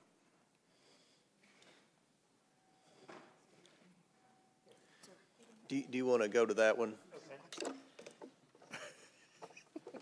Apologies. All right, we good? Now we are. All right. I want to start with Galanis. Mr. Galanis, um, you've heard the expression, say it, forget it, write it, regret it. Have you heard that expression? Mr. Galanis? Yes, I'm here. Congressman? Have you heard the expression, say it, forget it, write it, regret it? Yes, I have. It was a practice that we used in, in our business. In whose business? Uh, business with Hunter Biden and Devon Archer. Okay, Uh, so it's generally- their expression. referred to as Biden. Um, let me ask you a question. Who is Harris Youssef? Harris Youssef is a Ukrainian uh, investor originally from Syria, a, a longtime colleague of uh, Dmitry Firtash. So he's a colleague of Dmitry Firtash. He was mentioned um, earlier this hearing. Who is Dmitry Firtash? He's a Ukrainian oligarch very close to the Kremlin who was, made his fortune primarily in trading uh, gas uh, from Gazprom, the Russian state oil company, oil and gas company. So connected to Vladimir Putin, correct? Very much so, yes. Yeah, in fact, during Hunter Biden's deposition with the committee, he justified his role. This is, I think you'll find this comical. He justified his role on the Ukrainian Burisma board by saying, in essence, that it was his patriotic duty, that he was serving, you know, freedom, because there were, quote, this is his quote, there were two gas companies inside Ukraine at the time. One of them was a state owned, which was highly corrupt and connected to people like Firtash, which was directly going into Vladimir Putin's pocket. The only independent company was Burisma, end quote. Now, my question to you, um, based on this, you know, he's disparaging Mr. Firtash, and yet, are you aware that uh, that Mr. Biden, Hunter Biden, did business with Mr. Firtash? Yes, I am. So let me ask you, um, what kind of financial transactions occurred between them? Uh, what Harris Youssef described to me, and then I was also described to me by, by others, including Devon and Hunter, was a $5 million payment that was made by Dmitry Firtash, is handled by Harris Youssef through uh, Hunter Biden's law firm. Uh, that was deemed a success fee in order to quash uh, an outstanding indictment for which uh, in the United States. So a Putin connected Russian oligarch wired over $5 million to, to Hunter Biden's law firm for, for what activity? What was Hunter supposed to do for that 5.5 million? He was supposed to perform uh, in quashing the indictment that resulted in a, an arrest warrant for uh, Dmitry Firtash, who is um, Being charged in the United in States. Yeah, being charged in the United States in. Indiana. So he's supposed to quash that, use his political influence to do so. So my question is, of that money, um, the five million, three million dollars made its way to a company that you set up with Devon Archer called Inbloom. Is that correct? That's correct. Yes. And finally, from that three million dollars, there was a transfer that was made, and I've got a copy of that, the bank record to prove that, of two hundred seventy-five thousand dollars. Do you recall that transfer? I do. And it went to Yes. which account? Uh, Rosemont Seneca Bohai. Rosemont uh, Seneca. Bohai. So, despite Correct. what Hunter said during his deposition, were, for based on your knowledge, was Hunter Biden connected to Rosemont Seneca, Seneca Bohai? Was he part owner? Uh, he very much so, and he said, said as much, and, and, and had uh, direction and control, and it was a beneficiary of the account. So he, he there are emails that document he directed monies uh, to be dispersed from that account, including to himself. Now, it sounds like, despite what he's saying, you know, he's that what he told the committee that this guy was a bad hombre, basically, that this Firtash guy connected to Putin, and therefore he he had to get on Ukraine. And yet, here's a yet he had no problem doing business for this this corrupt Russian oligarch connected to Putin. In fact, had no problem taking million five million dollars and a direct uh, transfer of two hundred seventy-five thousand. Would you would you agree? I agree with that. Yes. Okay. Now, Mr. Bobulinski, um, and I've got just a little bit of time left. Sorry, very little time. So I want to ask you, you know, for God's sake, Hunter Biden is doing all of these transactions, doing all of this business, and yet his father is vice president. And we're to believe that his father isn't aware of all of these. Uh, he's been on the phone calls, he's been in the meeting, and yet he's not aware that his son is doing business with people connected to Vladimir Putin? Are we to believe that? It's an absurd expectation. Thank you. My time has expired. Very good. Chair now recognizes uh, Mr. Frost for five minutes. Thank you, Mr. Chair. The claims made against the President of the United States have been so completely proven to be lies that even House Republicans now are admitting that it's time to close this case. M- Mr. Parnas, I have a few questions for you in limited time, so I really want to try to get through these. And I just want everybody to know, especially people watching at home, that you're, you're like one of the most credible witnesses that we've had throughout this entire impeachment inquiry. Um, first off, I just want folks to know, for people who aren't familiar, can you tell me who you were working for between 2018 and 2019? Rudy Giuliani and Donald J. Trump. And to be clear, did you you answered to Rudy Giuliani? Yes. You answered to Donald Trump Yes. directly. Directly to Rudy Giuliani. Yeah. When former President Trump and Rudy Giuliani flew you to Ukraine um, to look for corruption on the part of President Biden, did you find any? No. And following your Ukraine trip, Senate Republicans, Senator Grassley and Johnson, released their Burisma report, which the New York Times concluded was, quote, unproven allegations that echo an active Russian disinformation campaign, end quote. Mr. Parnas, are the unproven allegations that are at the heart of the Republican report the same fabricated claims that Donald Trump and Rudy Giuliani sent you to Ukraine to go dig up? Yes. Last summer, you wrote a letter to Congress noting that when the media started to get tired of the smoke screens and, and using this, one of the authors of the Republican Burisma report would be your quote, guy in the Senate to push all the information, end quote. What, what did you mean by that? Uh, Senator Ron Johnson was our guy in the Senate. It was told to me that uh, when we push the information, he's going to push it in the halls of Congress. So when the media was getting skeptical about pushing disinformation after they've proven it wrong time and time again, the, the, the plan was to have a U.S. Senator, Ron Johnson, to push that disinformation even further. Correct, because we had Congressman Nunes already doing it, so Senator Ron Johnson jumped on board. This Congress, both Chairman Comer and Chairman Jordan, have centered this entire sham impeachment hearing on an uh, FBI tip sheet. This tip sheet made wild claims about bribery that didn't even come close to being backed up. Um, and in fact, it's all being proved to be one big lie. Mr. Parnas, is the allegation um, in the FBI tip sheet based on the same fabricated claims that Donald Trump and Rudy Giuliani flew, flew you to Ukraine to dig up? Yes. I also want to make it clear that the informant allegedly behind this tip sheet is facing criminal charges for lying about the Biden family and was a known fraud for years before that. The same fabricated claim kept popping up and getting smacked down over and over again. In fact, our colleagues at the Foreign Affairs Committee did some amazing work on this in investiga- uh, an investigation and found that this lie dates back to December 2015, almost 10 years ago. Do you happen to know um, the article that I'm referring to? I don't know the exact article, but I do know that the, the slide has started way back in 2015. Started ten, about 10 years ago. It was an article entitled, quote, The Ukrainian Scam of the Biden Family, end quote. And it was posted to a Russian language media website registered in a city in Russian occupied Crimea. Crimea. Mr. Parnas, do you have any doubt that this fabrication claim the claim that Donald Trump and Rudy Giuliani sent you to Ukraine to try to dig up more information on is part of Russian propaganda um, and an effort to destabilize Ukraine and undermine our democracy. As I, as I said here today, I have zero doubt that uh, Russia is involved. This is a Russian campaign to interfere in our elections.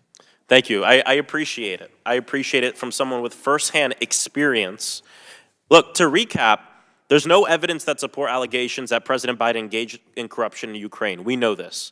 Mr. Parnas himself has made it clear that we have no doubt, we should have no doubt, that the claims of corruption are lies and conspiracy theories rooted in a Russian effort to undermine our democracy, posted to a Russian language website over a decade ago. This is exactly what Putin wants. And over the years, Republicans have kept moving the goalpost. You just look at the past year, right? First, it was a bribe. Then it was Burisma, nothing. Then it was Hunter Biden's laptop, nothing but some like nude pics that we keep seeing here.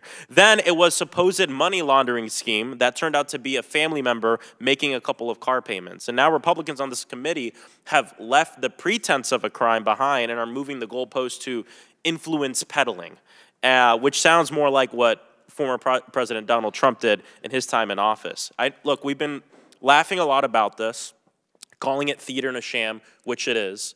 But I also want to bring up that this is really serious. Yes. I mean, we have members of Congress and this committee using Russian propaganda meant to undermine our democracy, to undermine our president. It's not just theater or laughable, but it's a betrayal of our democracy. It is very serious, Congressman. Yes. Chair, yeah, yield back. time's expired. Chair recognizes Ms. Boebert from Colorado for five minutes. Well, Hunter asked for a public hearing. Here we are, and he is nowhere to be found. I guess Hayden really does run in the Biden family. Now, Mr. Bobulinski, in your testimony, you state, it is clear to me that Joe Biden was the brand being sold by the Biden family. In your experience, what is the value to Joe Biden in helping his family collect millions from foreign adversaries? What, what's the value to Joe Biden specifically? Yes. Well, his children and brothers uh, were enriched, which to AOC's questions earlier violate corruption statutes, RICO statutes, FCPA statutes, FARA statutes. Yes, so you would agree that the Biden family was involved in this corruption and influence peddling and selling access to the federal government? I do. Mr. Bobulinski, um, in your experience, did President Biden play a more active or passive role in um, his son Hunter Biden's business dealings? I quantified it previously as he was the he acted sort of like a chairman. He showed up and shook He's hands. He's been called the chairman. Yeah, he showed up, shook hands, and that's all the Chinese, Ukrainians, Romanians, Russians, whoever it was need. It's not what the Canadians, the Australians, and Americans need, but in those parts of the world, that's what they need. Thank you. And now I'm going to switch over to Mr. Galanis. Uh, during uh, his 2020 presidential campaign, then candidate for president Joe Biden said his son did not make any money from China. Did, did Joe Biden lie? Yes or no? Yes. Mr. Galanis, uh, you are aware of the BHR fund that consisted of Bohai, a Chinese state backed company, Harvest, a China company, and Rosemont, uh, the Biden entity, correct? Yes, I am. And Mr. Galanis, you're aware that Hunter Biden formally held 10% of that Chinese entity. And, and would it surprise you, if you were aware, uh, that Hunter Biden held 10% of this entity well into his father's presidency? You know, I'm aware that the, it was- founded as a business that he owned 50% of 20% or 10% directly from the outset, from uh, uh, early on in 2014. A- And would it surprise you, Kevin Morris, Hunter Biden's fake attorney, has testified that he now holds that interest? I, I don't have any knowledge about that, so it would, not much of this would surprise me. Mr. Bobulinski, in your testimony, you stated the Chinese Communist Party, through CEFC, successfully sought to infiltrate and compromise the, Biden, uh, the Obama-Biden White House during 2015 and continued through when Joe Biden left office. Would you agree that the CCP compromising the White House is a serious threat to our nation's national security? I do. Thank you. And now Joe Biden has leveraged his elected position to enable the Biden family, their business associates, and their companies to receive over $24 million from foreign nationals and their companies to re- uh, and their related companies. Biden is compromised and is a threat to our national security. After today, it's clear that Joe Biden is a bigger CCC, a CCP asset than Fang Fang herself. Will, uh, will we ever come to the agreement that it is far time that Congress holds the resident of the White House accountable for selling out the American people. Unfortunately, my colleagues to my left have, highly, have a highly coveted made in China product, a brand, if you will, and that is Joseph R. Biden. Mr. Chairman, I yield, uh, yield the remainder of my balance to my friend from Florida, Matt Gaetz.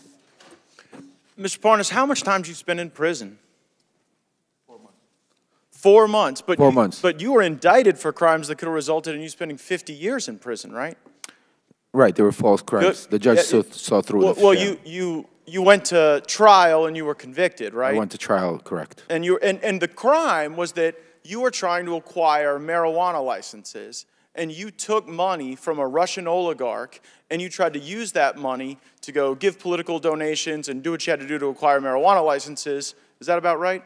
That's what the crime was. That's what the indictment was. yeah. Right. So it sounds like everyone here today, the only one working for a Russian oligarch was you. right? I mean, yeah, I, was. I just heard you. I, wa- mean, it's, I heard, I public, just- it's public information. Yeah, that, no, I uh, just heard you wax Gaetz, poetic. I got paid two hundred thousand dollars. You know how much you I were got really paid. worried about our democracy, and you were here to warn us. But you were working for a Russian oligarch, On wanting behalf to get of President marijuana Trump. licenses. But then you didn't even do it. The fraud you committed against the Russian oligarch was that instead you spent the money on yourself. So, like, was was No, that what you that were was not the doing to fraud. fight No, against that was not the Russia's fraud. aggression? That's a lie, Just taking their Gaetz. money. Well, that's what you were convicted of. No, but that- but instead of spending 50 years in prison, you got four months. As this hearing continues, I look forward to hearing what Mr. Galanis thinks about how he was treated by the DOJ for telling the truth, as opposed to how you're treated for lying. The DOJ didn't listen to the truth because if they would listen the to the question- truth, you the guys question would have been Mr. Gaetz had is They didn't for wanna hear Mr. the truth. You can't handle the Galan- truth, Matt Gaetz. Look, well, the truth for you is taking money from Russians to buy marijuana businesses and then and then going to jail and then coming here to lie about Trump. You should know better than anybody. what- Gentlemen's what- time what has the DOJ is expired. About. Chair you should know better than anybody. Gentlemen's time's expired. Chair now recognizes Ms. Tlaib from Michigan. Thank you so much. It's so exhausting. Um, this is really incredibly exhausting, and I can't imagine our residents sitting at home. I still, every time I look up and I see our former chairman, uh, forever chairman, uh, Elijah Cummings, our first ever hearing in this, in this room was about the high cost of insulin. I think one of the first witness was a mother of twins who had to ration her insulin and lost a child because she couldn't afford it. I still remember our previous chairwoman who really did a phenomenal job continuing to talk about the opiate crisis and how the Sackler family was part of a criminal scheme to increase addiction among family members, people just literally losing their family members because of profit, because of folks that were literally drug dealers in suits.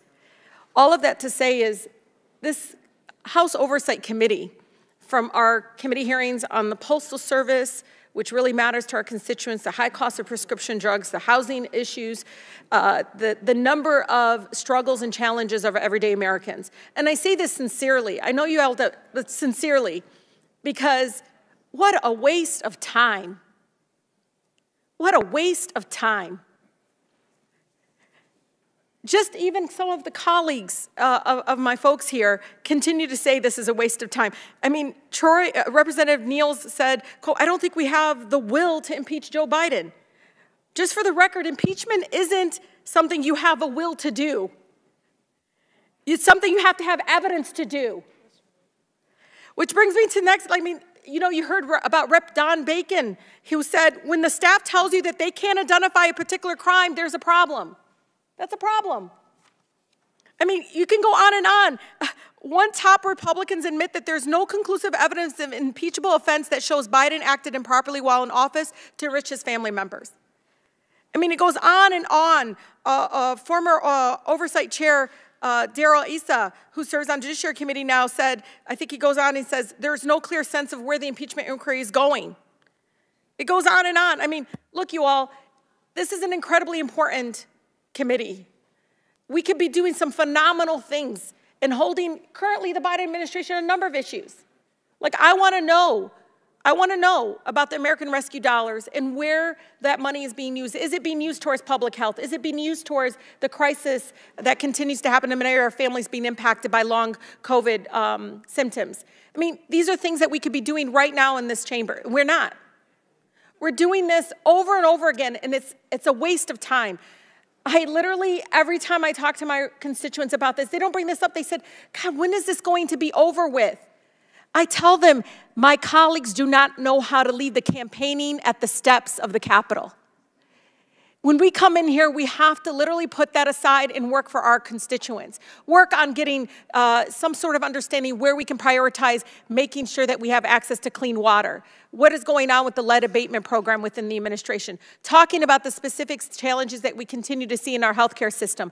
All of that. Again, we can hold the Biden administration together, Mr. Chairman, on a number of issues we can see eye to eye on and saying we need to use this committee to open it up, open it up, to be the watchdog committee that we are. Instead, we're wasting, we really sincerely are wasting the time of the American people doing this. This is awful. For them to see us going back and forth like this, it's so disenchanting for them. And you all wonder why the, the, the, the numbers out there of favorability towards Congress is so low. they really have no faith in us because of this. This is the kind of stuff we do. When literally my folks are literally fighting for the right to breathe clean air and to, to fight to sit there and figure out how they're going to afford asthma inhalers. Yet we're here wasting the people's time. Will the gentlelady yield? Yes, Mr. Chair. And, and I, again, I say this out of somebody that's a social worker at heart. We could do so many things in bipartisan in this committee. I know it. And I think we're right now really waste, really missing out an opportunity to do that. We really are. Ms. Tlaib. I yield to Mr. Um, R. Well, it's for a question I just wanted to ask you because you've had tremendous success in trying to clean up dirty water across America. We can actually get things done, right? Absolutely. And, you know, I know my colleague on the other side, we all have a crisis of the water, clean water crisis. We could, like, literally bring in folks in the EPA, bring folks into this chamber right now and ask where is the Biden administration on the, on the development of their lead abatement uh, initiative. These are the things that I think very much many of my mayors, my local electeds, many of the state folks are asking what can, they, what can we do as, as members of Congress to basically have more transparency in where the priorities are? But again, I really say this sincerely to all of you. We can do better. We deserve to do better. I remember Chairman Cummings constantly reminding us that we can be better. Gentlelady's time's expired. Before I recognize Representative Fry, for what purpose does uh, Representative McClain seek recognition? I'd like to enter something in the record. Um, my friends on the other side of the aisle are desperately trying to deflect from the Biden family are you going to keep it the same way? by attacking President Trump this, and his is this family. five minutes? I would like to enter into the record an article. Actually, Jared Kushner and Hunter Biden are nothing alike, and here are the facts. Thank without, you. Without objection, so ordered. Chair now recognizes uh, Representative Fry for five minutes. Thank you, Mr. Chairman. One of the inconsistencies that I have kind of seen is what is on a text message, Mr. Bobulinski, with Raymond Zhao, and what Hunter Biden testified to in his own uh, deposition. And so this is infamous. We've talked about this a lot. Z, please have the director call me, not James, not you, or Jim. have him call me tonight. I am sitting here with my father. We've talked about this a lot. We've, we've kind of got ad nauseum to it. And in response, Raymond Zhao says, Copy, I will call you on WhatsApp. So in Hunter Biden's testimony on page 105, he, he states that the Zhao that he sent this to was not the Zhao that was connected to CEFC. What do you say about that, Mr. Bobulinski? Well, I think um, what he's simply saying is he made a mistake. Not that he meant to send that text message, because it's crystal clear that that message was meant for Raymond Zhao, who was the interpreter for Director Zhang at CEFC. But I think he tried to obfuscate in his testimony that technically maybe he made a mistake and texted it to the wrong person. I can't speak to whether then he corrected that, but I do know based on the communications that he got on the phone with Raymond Zhao and set the record straight and exactly went through what he thought he was sending him in that message because it's followed up where they say, they sort of snap to and say, we'll cooperate with the family. Why were they willing to cooperate with the family? Because effectively they were bribing the Biden family to help, get them to help them with the four unsealed indictments in the SDNY, which Right. is the only thing that mattered to And, CEFC. and Raymond Zhao, you said he was an interpreter, but he was a little bit more than that too. he was like a not? chief of staff interpreter. Correct. So he was he was kind of the handler for the CEFC business. yeah, he correct? spoke good English. Director Zhang spoke very little English. Right. So to the extent that this was the wrong Zhao, I mean, I'm no rocket scientist, but if I get a text message and it's somebody that it, it's a different Russell, I'm going to say you've got the wrong guy. Correct. Yeah, I believe Henry Zhao probably, his argument is he sent it to Henry Zhao. I'm assuming there's a text message somewhere where either Henry Zhao responded, hey, I think you meant that for somebody Right. else. Instead, we just see copy that. I'll call you on WhatsApp. Right. Right. So if you were perplexed as to why you received a, a, a random text message that wasn't applied, Well, that's actually Raymond Zhao Right. saying, I'll call you on That's what I'm saying. Yeah, yeah, yeah. So, so the purpose, the, the issue that, that, that, he, that he brings up, though, is that he was confused and it was the wrong Zhao. I want to ask you a couple more questions real quick. Hunter Biden's transcript on page 42, he said, I officially began to work for CEFC uh, when, the, when I received a retainer from CEFC in early or spring of 2017. Is that true? Well, it goes back to the word official. He's parsing words. Hunter Biden started working for CEFC in the fall of 2015 and worked for CEFC throughout 2016. That was confirmed to me by him, by James Gilliar, by Rob Walker, numerous face-to-face conversations on it, Right, so numerous is, meetings. So, so this is not true. On page 48 of his transcript, Hunter is asked, uh, he's never interacted with any of your business associates. Is that correct? The he's he's referring to is, is Joe Biden. Is that true? That's a lie? Hunter lied to the committee about important details concerning his money demands and threats to CEFC uh, based on this WhatsApp message right here. On page 105 of his testimony, Hunter states, quote, my father had no awareness, my father had no awareness of the business I was doing. Is that true? That's a lie?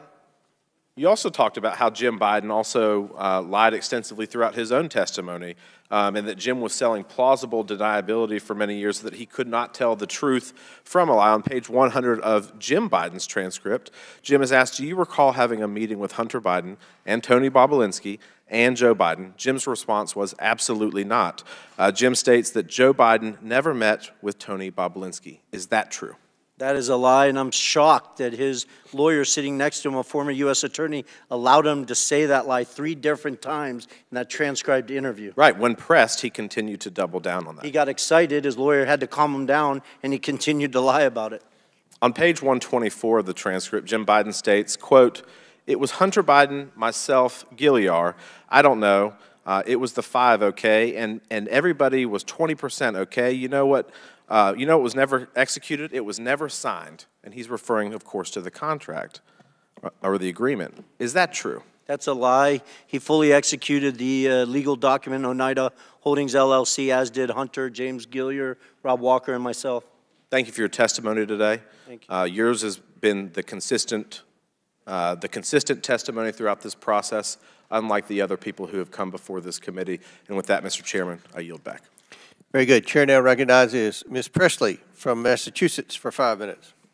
Thank you, Mr. Chairman. Uh, when Elijah Cummings was the chair of this committee, he often reminded us that our role was to be in the efficient and effective pursuit of the truth. So I'm going to try to do exactly that because uh, this farce has gone 15 months uh, 10,000 documents and 11,000 hours uh, too long, and we've got a lot of ground to cover here. Uh, Mr. Parnas, thank you for being here. Last year, you wrote a long letter to Chairman Comer detailing your extensive role in the, quote, campaign orchestrated by Giuliani and Trump to dig up dirt on the Bidens and to spread misinformation about them through various networks, including government officials, journalists, and Fox News personnel, unquote. When that campaign failed to find dirt because, well, there was no dirt to be found, the former occupant of the White House demanded that Ukrainian political officials announce investigations into the Biden family in order to smear Joe Biden prior to the 2020 presidential election. Uh, yes or no, Mr. Parnas, before Trump and Rudy Giuliani tasked you to try to find dirt on the Bidens in Ukraine, did you ever interact with Mr. Trump? Oh, before they asked me, yes, I've had many interactions. Okay. And you wrote to the committee that in late 2018 you attended a holiday party at Trump's White House, as shown in this picture. Can you describe your interactions with Donald Trump during this party? Uh, yes, uh, we came to the event. It was a Hanukkah party. Uh, Rudy uh, Giuliani joined us. Uh, we were supposed to all go to the residence, but at the last second, Rudy said to wait for him downstairs. He was going to go meet Trump himself and update him on everything that was going on. Uh, he went to meet uh, Trump at the residence. Uh, we waited the, at the White House. Then eventually, when Trump came down to make a speech, Secret Service came up to us and said that the president wanted to wait, to meet, see, wait for us at the Red Room. So we proceeded to the Red Room and waited for Trump to finish a speech. Then he came in, approached me, and basically told me, shook my hand and said, Rudy tells me great things. Keep up the good work. Thank you. And then we proceeded to take pictures. Mr. Parnas, when Trump told you to keep up the good work, what did you understand him to be referring to exactly? Well, at that point, the conversation was about Ukraine and Giuliani wanting me to go find Viktor Shokin. Uh, so that's what I took it as, as keep up the good work, uh, get, go get Viktor Shokin on, on our way to Ukraine. And Mr. Parnas, after the party, did you interact with Trump again, or were you cut off from, from interacting with him? Uh, after our trip to Ukraine, uh, we were cut off because uh, then the BLT team was formed and the line of communication started going through Rudy Giuliani because they didn't want anybody to notice me with him because I was in Ukraine doing the stuff. I see. So is it fair to say, Mr. Parnas, um, that you think you were no longer invited to interact with Trump to create a buffer between President Trump and your work with Giuliani to generate evidence of Joe Biden's misconduct in Ukraine? Oh, I was told that. Not that I wasn't invited. I was told that you're, you're going to stop going to the route, to the events, to the private events and stuff like that because while you're doing this. I see. So, despite President Trump's efforts to insulate himself from associating with you as you sought evidence of Biden corruption in Ukraine, you maintained your contacts with individuals in Trump's innermost circle, including uh, Donald Trump Jr., correct? Absolutely, yes.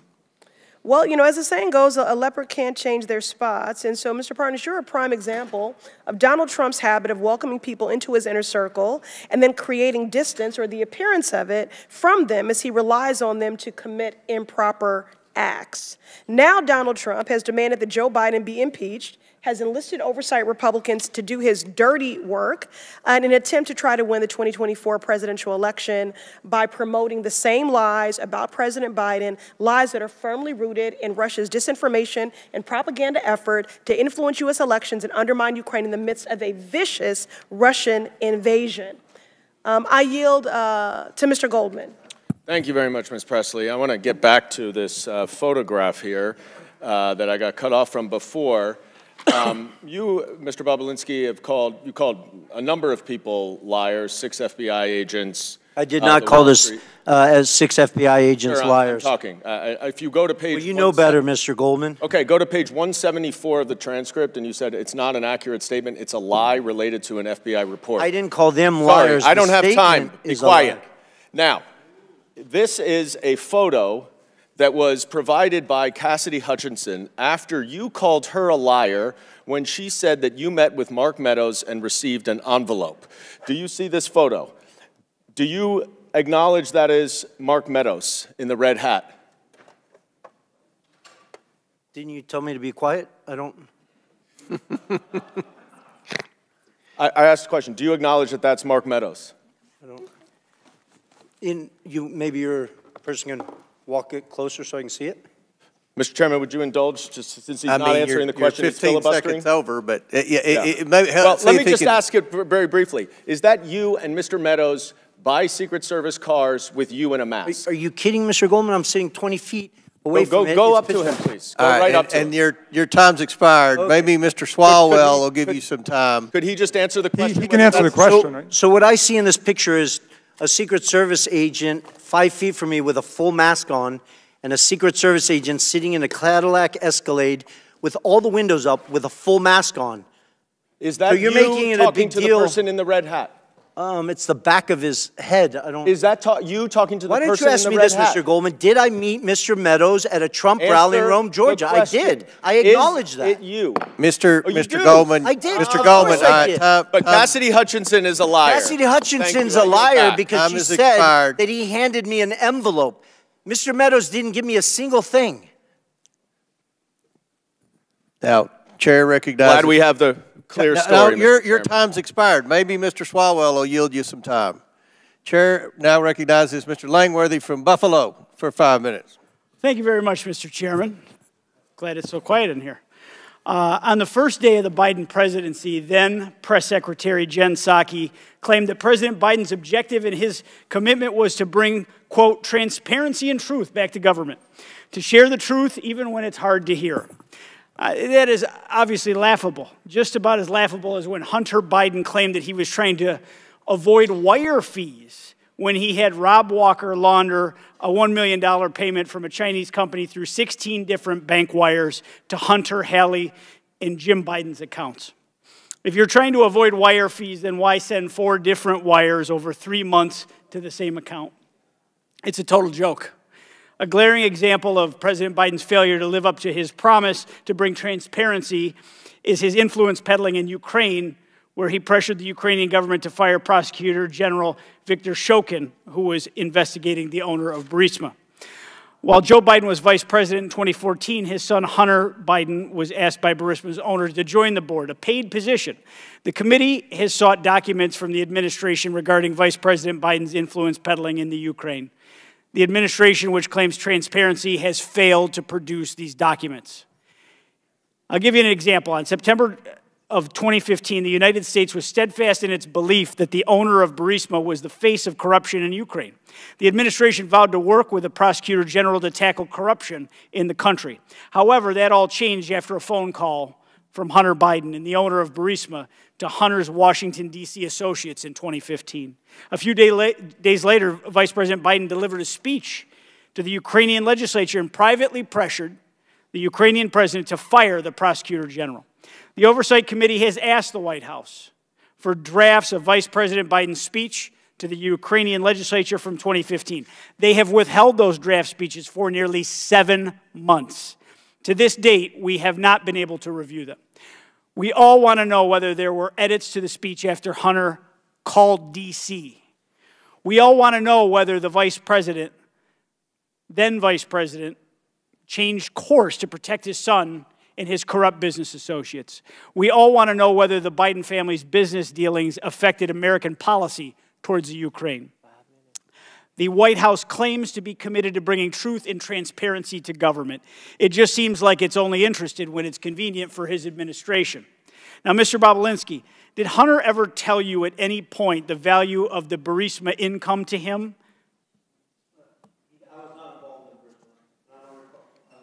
Call him ever mentioning that to me.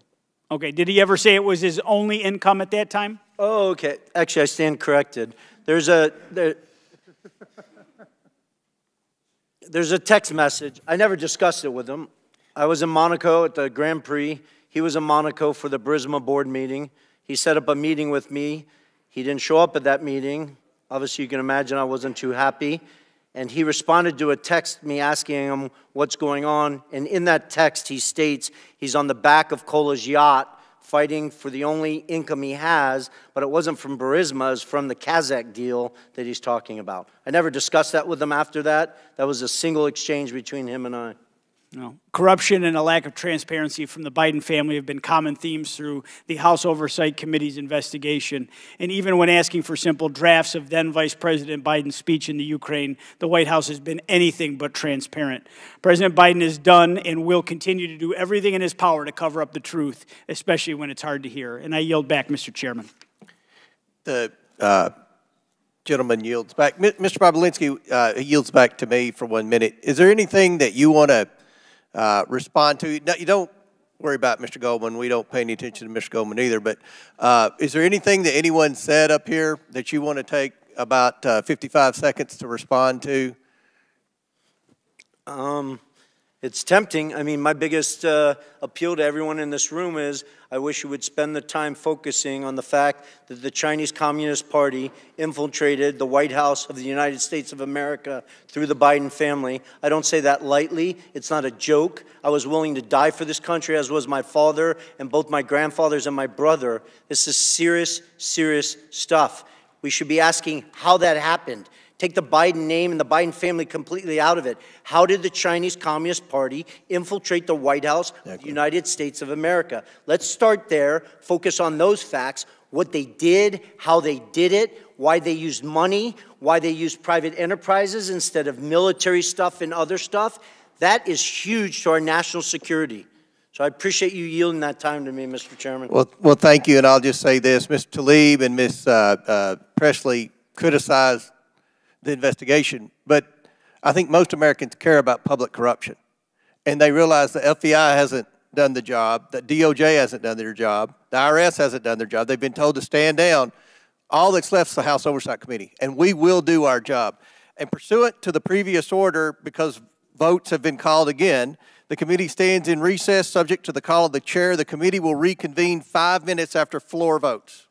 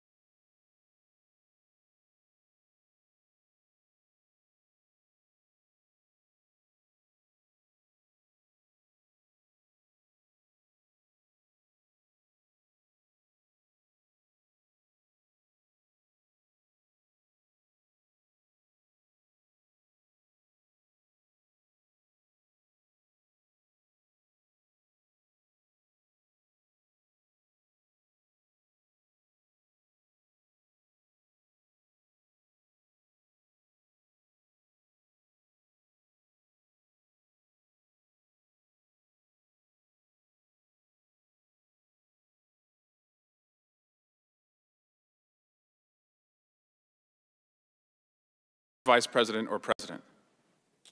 I, I did not, I can't speak to that. Did you ever observe, while observing the Bidens, uh, the Bidens install a family member to be the co-chair of the DNC?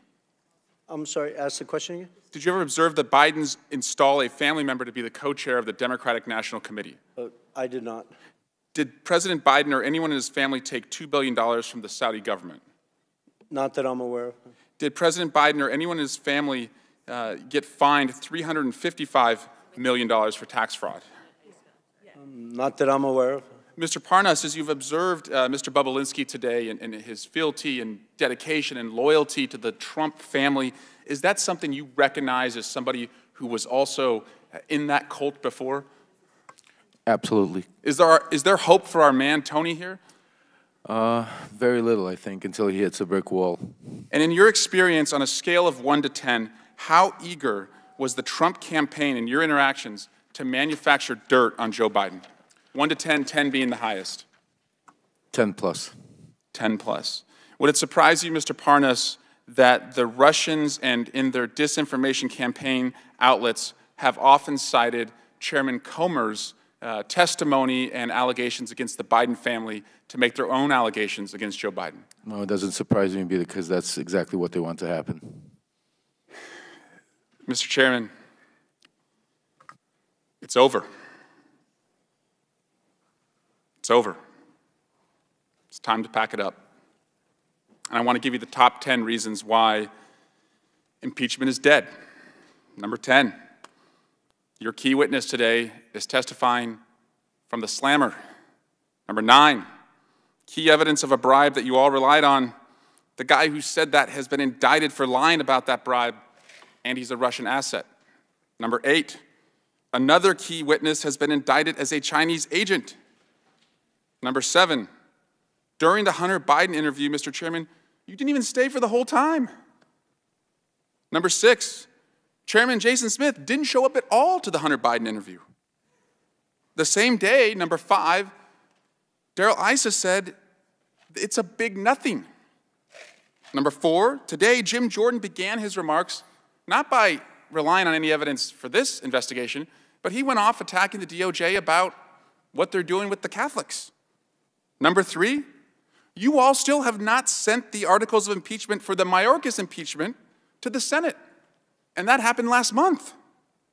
Number two, you're now talking about a criminal referral, but if you had evidence for a criminal referral, then you have evidence to impeach somebody for high crimes and misdemeanors. And number one, and I'm sorry to say this, Fox News isn't even carrying this today.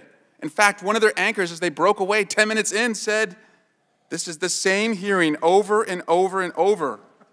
At what point are you going to fish or cut bait? So I just have to tell you, it's over. Impeachment's over. Dunzo. Bye bye. Rigor mortis. Lights out. Curtain drop. Mic drop. Peace. Adios. Sayonara. Au revoir. Or a language that you all understand. Doi sivdanya. Did I say that right, Mr. Parnas? Yes. I dare you to impeach, but you won't because you don't have the evidence. And because you don't have the evidence, you don't have the votes. Guys, it's dead. And so I'm here to pronounce the time of death.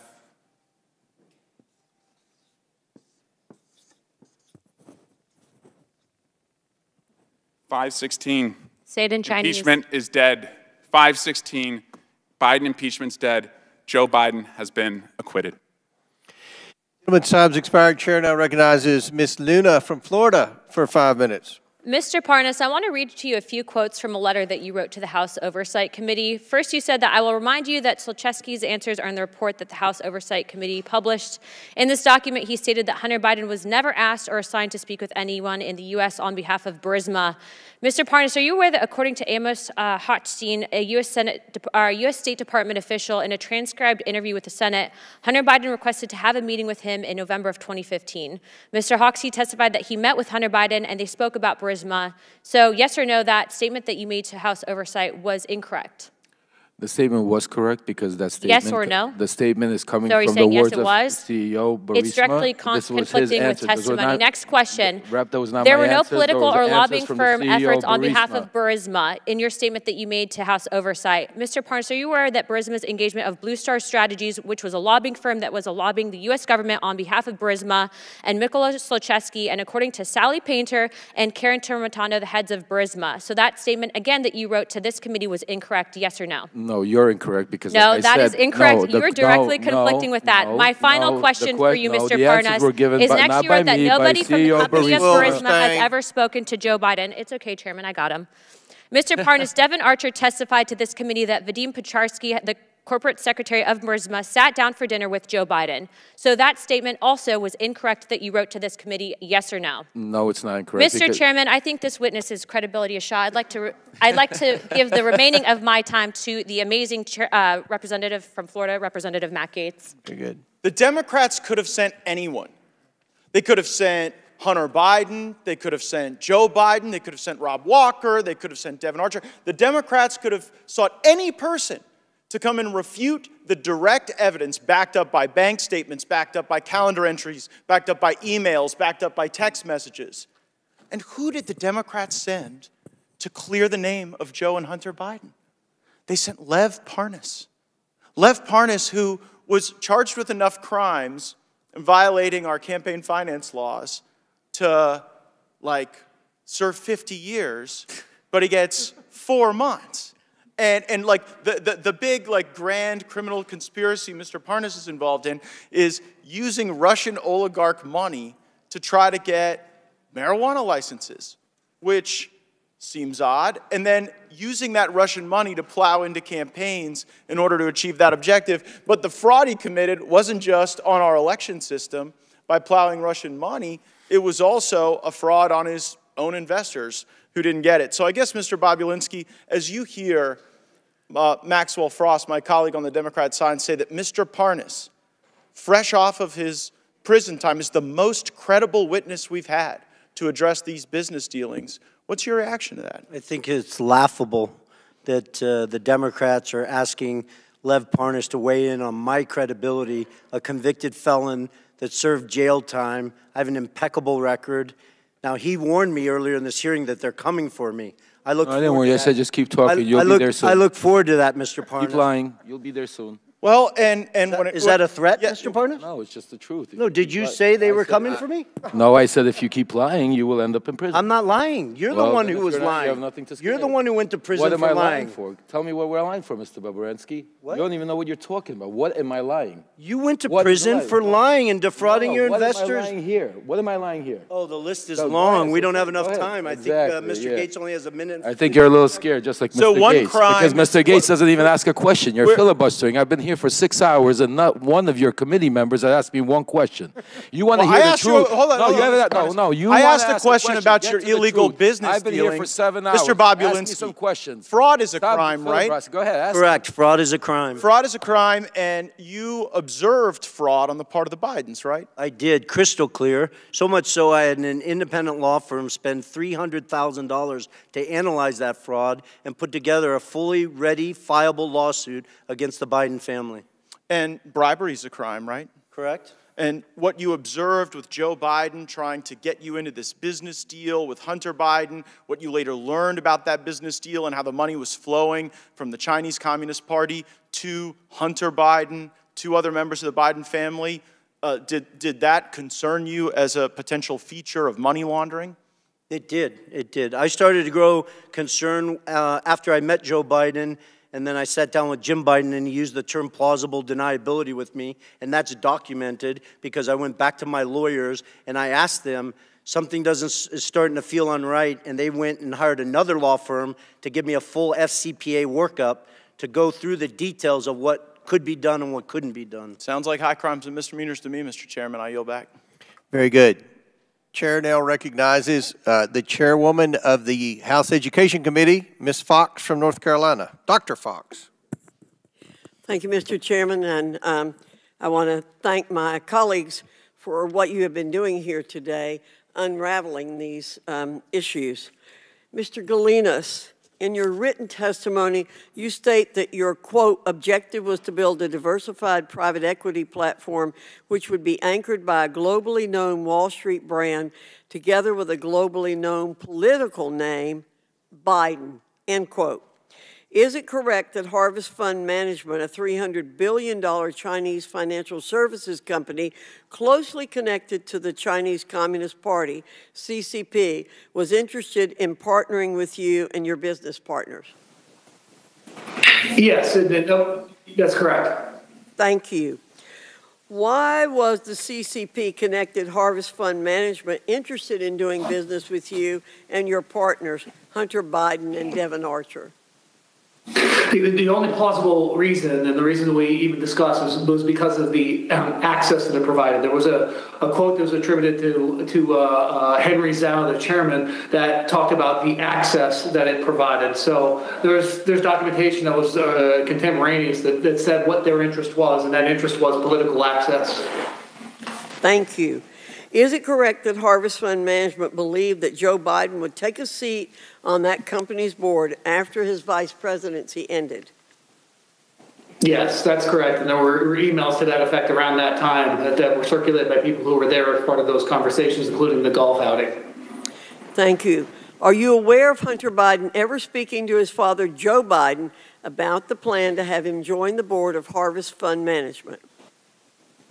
Yes, I, I witnessed that, yes.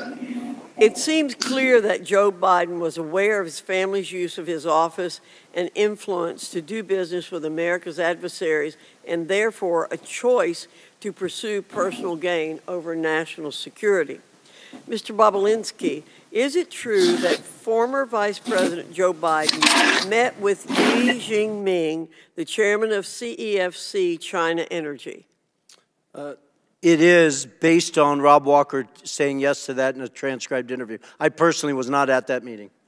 When did this meeting take place based on what Mr. Walker said? Yeah, in my understanding, it would have been February 2017.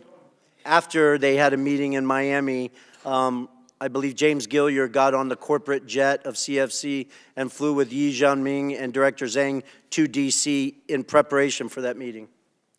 After this meeting with former Vice President Joe Biden and Chairman Yi, were any payments made to the Biden family or associates? Yes, well, it gets to that point of obfuscation. $3 million was wired to Rob Walker's account on March 1st. Actually, they sent two wires. The first wire got kicked back, and then they sent a second wire on March 1st, 2017 to Robinson Walker LLC. And then, as your committees walked through today, they parsed that out to the Biden family in numerous different payments.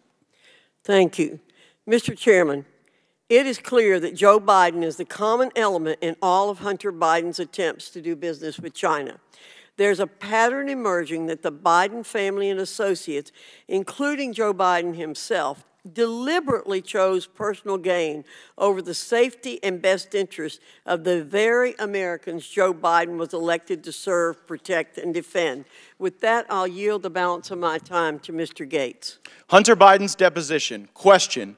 Do you think some of your business associates we've spoken about today, Mr. Archer, Mr. Bobulinski, Mr. Galanis, do you think they had an expectation that your dad had any role or involvement in any of your joint business dealings? Answer from Hunter Biden not an expectation from me. There was never a single time I can remember saying, hey, we'll get my dad involved. Hey, let's get my dad on the phone. Hey, let's, you know, what can we get out of dad for this? Mr. Galanis, what's your reaction to that testimony from Hunter Biden in light of you describing the Biden lift?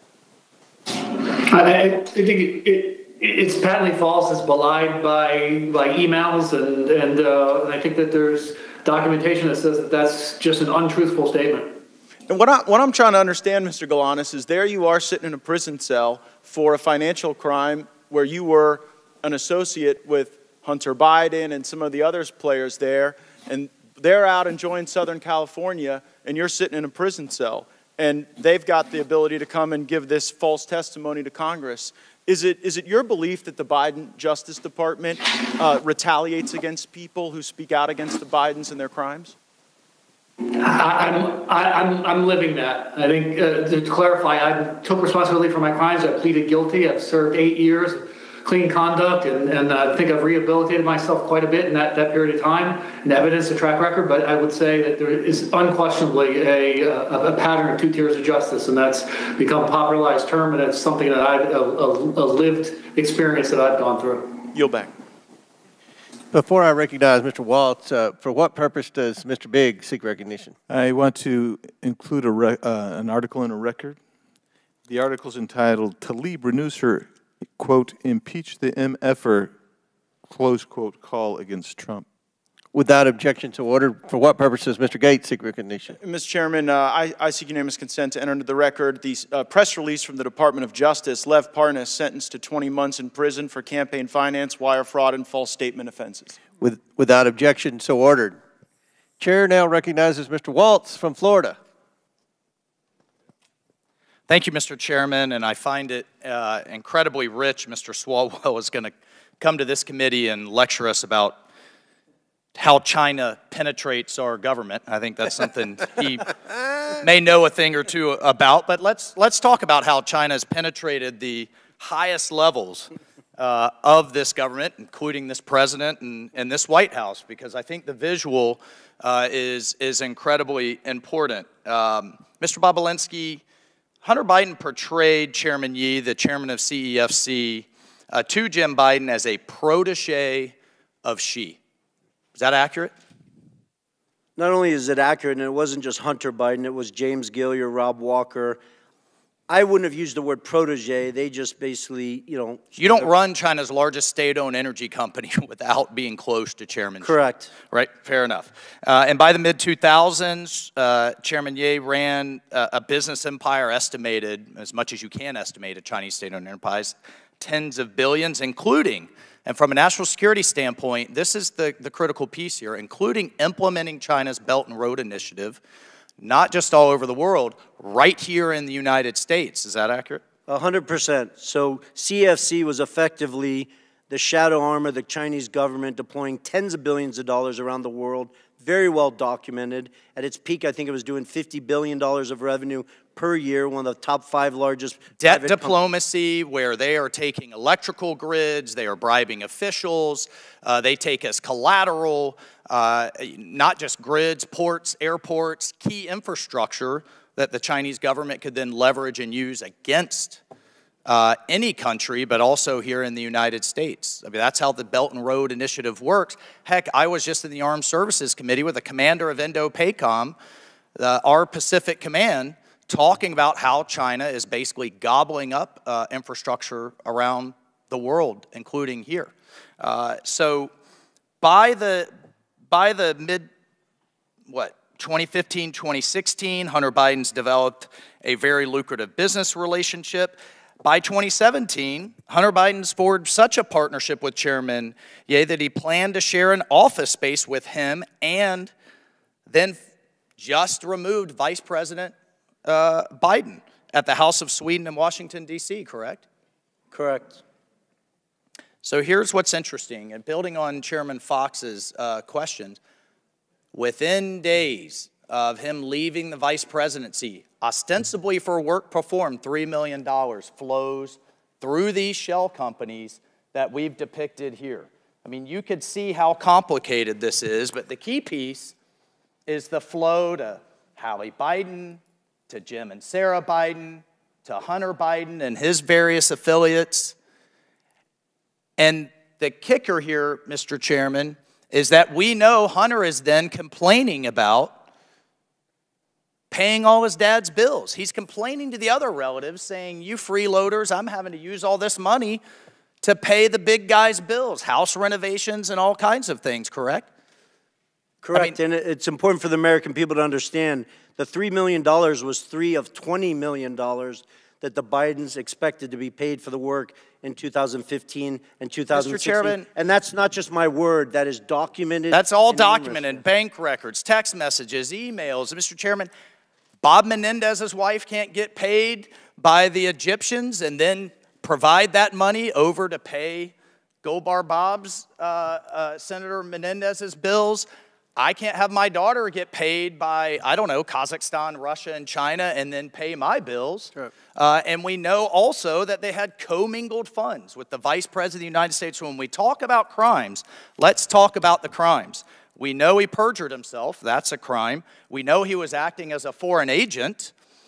And he was he registered under FARA? Was he registered as a foreign agent? Not that Was I'm Hunter? aware of. Was his dad complicit in him acting as a foreign agent through meetings and dinners and what have you? That's hundred- crime. A hundred percent. That's crime number two. He was clearly acting uh, in that capacity. We have the Foreign Corrupt Practices Act, and we already have them thanks to the work of this committee for tax evasion. So, Mr. Chairman, there are multiple crimes that this committee has established ample evidence.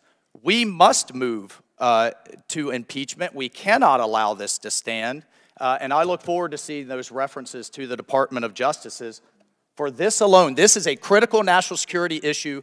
The Chinese Communist Party call it the princelings. They don't go after the principle they want to influence, they go through the sun. And it is right out of their playbook, and they've done it at the highest levels of the United States government. I yield my time. Very good. Uh, Mr. Chairman, I just have a, a couple of uh, UC requests, if that's all right. Proceed. One is from Devon Archer's uh, transcribed interview testifying that Biden, Joe Biden, had nothing to do with any of Devon Archer's business ventures with Hunter. Second is um, uh, the declassified intelligence community assessment from the National Intelligence Council, March 2021, detailing efforts by Russian actors to interfere in the 2020 U.S. elections. And finally, most importantly, the U.S. District Court decision from the Southern District of New York in United States versus Galanis, um, where uh, Mr. Galanis was described as a con artist who wanted to be in business with Hunter Biden but never was, and how they thought that um, they could add layers of legitimacy to their con operation. If I could have those introduced. Without objection, so ordered. Now the chair recognizes Mr. Gaetz from Florida. You're a serious business person, Mr. Bobulinski, right? I am. Uh, uh, unlike the convicted felon next to you, you've served in the military, right? Correct. You've done big deals, Correct. complicated deals, deals that involved foreign businesses, right? Correct. And so, what I'm trying to figure out is when you came to realize that you showed up at the wrong party. Because you kind of strike me as a guy who showed up to do a legitimate business deal, and you ended up instead at a bribe. And so, as you're looking at CEFC, as you're having this meeting with Joe Biden, as Hunter Biden is introducing you to his web of contacts, when did you go from serious businessman Tony Bobulinski working to make a buck in a capitalist system to a guy worried that you had been unwittingly ensnared into Hunter and Joe Biden's bribe operation with the Chinese Communist Party? I appreciate the question. It wasn't an aha moment, it was more of a process. I am a serious businessman, demonstrated by the different deals I've done around the world and uh, the success of them. But it started, remember, the Biden family wasn't my entry into this. James Gilliar, who I'd known for over 10 years, who traveled the world doing business, kept trying to get me involved. I really had no interest, no interest. I got, I sat down in the spring of 2017 to walk through things, and then I quickly put together two businesses, Sinohawk and Oneida. After the meetings in Los Angeles with Hunter and Joe Biden, it started to sort of bells and whistles started to go off when Jim Biden used the term plausible deniability. Plausible deniability is the first moment, straight from the lips of Jim Biden, right on the heels of your discussion with Joe Biden, where you start to think this might not be legit. Correct. And my lawyers at the time could attest to that because I reached out to them saying, listen, I'm a former naval officer. I held a Q security clearance. I couldn't collect, somebody couldn't take me to dinner for $50. This just does not make sense to me. But And you they- proceed, but you proceed, and then later this thing starts to get a lot ug- uglier. What's the moment you go from, okay, your spidey senses are up, you're analyzing this, to now you know this is a crime that you are bearing witness to? The end of July, when the Biden family put them right front and center in the middle of a $9 billion transaction between the Russian state owned energy company Rosneft and CEFC, a surrogate for the Chinese Communist Party. And was there ever a time in the deals you were involved in where you started to see the money move around the legitimate business enterprise and toward the pockets of the Bidens. Well, the challenge, Mr. Gaetz, with that is at the time they moved the money, right? You guys have the text messages where Hunter Biden shook down Director Zhang, but I was not aware of that. I spent a year asking questions of, this doesn't make sense to me, where's the money? I, I stepped in and had lawyers work to dissolve the two entities. I didn't know till years later that they had defrauded me, they had gotten paid all this money, and um, all this craziness. The amount yeah, of it, facts. it just seems pretty simple. This is either a bribe or a business. It was a bribe from the Chinese Communist Party. And, you, and, and, and I don't say that lightly. There's 1,200 pages, eight days of testimony in the Southern District of New York. I encourage everyone watching me, hearing me say this, they're publicly available. Go read them. Our Department of Justice outlines in intimate detail the corruption and bribes that CEFC was deploying to political officials all over the world. It wasn't so I'm here to believe that they did this in every other country, but with the Biden family, it was pristine. It was an actual clean business. That's absurd. And you and you came to know that, and that's when you blew the whistle, right? That's when you started to get to get worried when you saw Joe I Biden. stepped away from it. There, Yeah. There's the whistleblowers. I can't give them kudos enough for the bravery and the risk they put their family in. They publish stuff where I am voicing the concern of the Rosneft deal. And you animated your concerns when you saw that this wasn't just a corrupt bribe, a corrupt business deal happening to a guy who used to be vice president. When you see that Joe, everyone's made a big deal like you're a bad guy that you showed up at the debate or you're trying to give life to these facts that you've observed, that it's so bad that you did that during a political contest. But observing this, it kind of seems like it would be unpatriotic for you to stay quiet. Of course. And so, I mean, Joe Biden running for president clearly motivated the Chinese to consummate this bribe. Did it also motivate you? Well, I didn't want to go public. I wanted to simply unload all the facts, personal experiences. It's funny, there's 18 people on this committee with law degrees, including, I think, Mr. Swalwell. Evidence, firsthand testimony, is the most powerful evidence you have. I've given it, Mr. Galanis has given it, along with a whole host of other witnesses. Then, on top of that, I have thousands of documents and pages of, of legals and stuff Well, like that- that. that's what's I wanted to Mr. simply Bobulinski. give this information. Yeah. Congressmen and thing. senators. No one questioned any of your facts. No one brought a single piece of evidence that, in, that even for a moment discredited any of the truthful testimony that you've given us. I No, see they my did time's not. expired. I yield back. Gentleman yields back. Uh, That concludes our questioning. Uh, Again, want to thank the witnesses. Uh, We are going to close now, and I will yield to the ranking member for a brief closing statement. Great, and I'll take an extra 32 seconds, as Mr. Gaetz did. Um, well, and, and while we're on Mr. Gaetz, he seemed to be upset about a couple different things. One was fraud, which was fascinating to me, uh, given that his hero, Donald Trump, has just been convicted civilly of bank and insurance fraud in New York uh, in a civil case and now owes, I think it's 454 million, unless that's gone up uh, with interest. I think he's having a hard time uh, making that, but I'm sure that the, uh, Mr. Gaetz' constituents will help him out as they're shaking down Republican voters. You can pay either for Donald Trump's criminal lawyers or his civil lawyers. That's the big political choice, I suppose. Uh, he's also upset about China. Well, if you check out the Democrats' report, White House for Sale, how princes, prime ministers, and premiers paid off President Trump, you'll find that China actually gave more than $5 million to Donald Trump while he was president of the United States in direct violation of the emoluments clause, which says that nobody in federal office shall accept a present, an emolument, which means a payment, an office, or title of any kind whatever from a king, a prince, or a foreign state. And we spent the day, again, jawboning about Hunter Biden, who has never held public office and he's never done business with the government. And yet, we have right in front of us, in front of our very eyes, uh, mammoth corruption, unprecedented in U.S. history by Donald Trump as president. And my friends don't say a single uh, word about it, but he wants to lecture Mr. Parnas about the illegal donations he made on behalf of pro Trump super PACs. I've noticed something interesting with the people who have finally disenthralled themselves and gotten out of the Trump cult, as Mr. Parnas puts it. People like Michael Cohen, Sarah Matthews, Cassidy Hutchinson, Alyssa Griffin. There's articles about them. There are dozens of those people, and I'd be fleeing for the exits now too. Um, what's so fascinating to me about it is that they don't mind when these people lie for Donald Trump.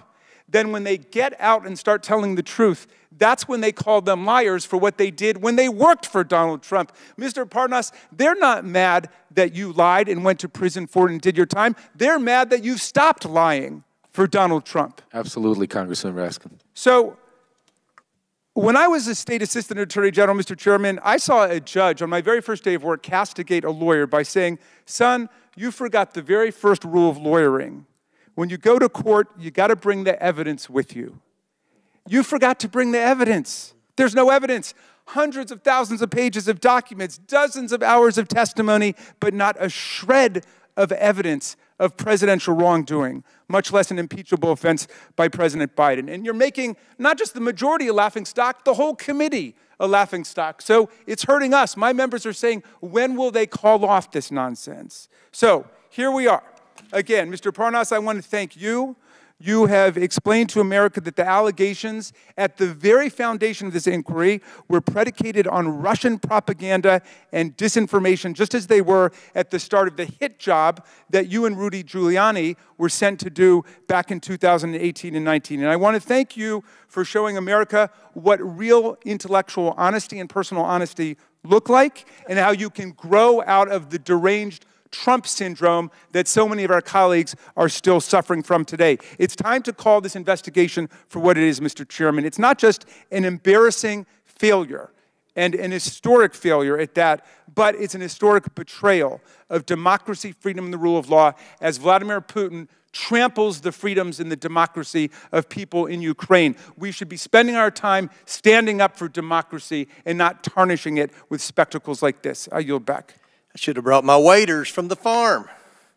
Uh, I want to thank our witnesses for, for being here today. Mr. Bobulinski, Mr. Galanis have delivered testimony in front of the American people directly implicating President Biden and his family's influence peddling schemes. Schemes that brought over $24 million into the Biden family and their business associates' pockets. For what? I never heard the minority say what they did or what business the Bidens were in. Mr. Bobulinski and Mr. Galanis have provided documents supporting these claims and provided hours of testimony to this committee. Mr. Bobulinski and Mr. Galanis have not changed their stories. Mr. Bobulinski and Mr. Galanis did not ask for this hearing, but they showed up for it because they have nothing to hide. I also invited Hunter Biden to this hearing in part due to his own request that he be allowed to provide transparency and testimony before the American people. Or at least he did request this hearing. And then he sat for a deposition with the Oversight and Judiciary Committees. Now he's nowhere to be found. Mr. Bobulinski, Mr. Galanis, and others have implicated Joe Biden in the Biden family business. Hunter Biden denies his father's role in the Biden family business. This is a material discrepancy among witnesses of the highest order. I attempted to solve this problem by getting the witnesses in the same room together to straighten out any misunderstandings.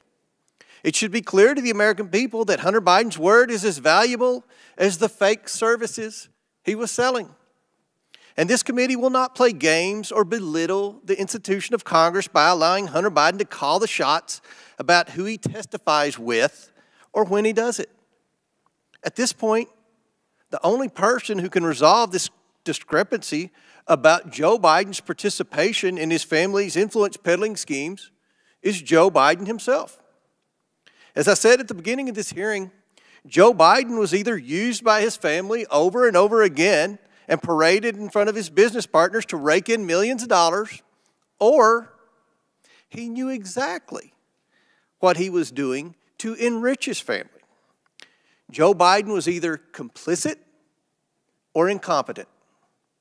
And the American people deserve to know which one it is, which one it was. But neither is acceptable for the leader of the United States. I don't think anyone believes that this is acceptable behavior for the family of the President of the United States to receive tens of millions of dollars from our adversaries around the world, and they can't say one single thing they did to receive the money. Nobody supports that. I don't care if you're Democrat or Republican, if you're from a big city or a small town. That's not what this democracy is about. That's not what uh, the founding fathers set up. They set this up that we have public servants come and, and provide their public service and then go on. They did not set this up for public servants to enrich themselves through their family, through influence peddling. No one is denied. Is anyone denying, Mr. Raskin, that the Biden family was influence peddling? Nobody denies that the family was influence peddling. What we, what we have here is a major discrepancy on what role Joe Biden played. We know the three former Biden associates say that Joe Biden was actively involved and knew full well what the schemes were, what the family was up to. But we have Hunter Biden testifying under oath that his dad didn't know. So, in the coming days, I will invite President Biden to the Oversight Committee to provide his testimony and explain why his family received tens of millions of dollars from foreign companies with his assistance. We need to hear from the president himself. And I assure the American people that they will be able to evaluate for themselves the president's honesty and fitness for the office he now holds. With that, Mr. Chairman, are you going to invite Donald Trump to come and talk about his violations of the Emoluments Clause? You all have investigated Donald Trump for years, and I'm pretty sure I've read in the paper that there's a lot of investigations of Donald Trump. No one's investigated. Well, well we Joe impeached Biden. him. You were invited to impeach uh, Joe are you, Biden Are today. you supporting, uh, are you going to work with me to see that uh, Joe Biden comes and answers these discrepancies? I mean, this is a big deal. There- There's no discrepancies. There's not No been, discrepancies. No, there's, there's no evidence at all that he's committed any high crime and misdemeanor. What is it? In closing, I want to thank our panelists once again for their important and insightful testimony today. Uh, with that and without objection, all members will have five legislative days within which to submit materials and to submit additional written questions for the witnesses, which will be forwarded to the witnesses for their response. If there is no further business, without objection, the committee stands adjourned.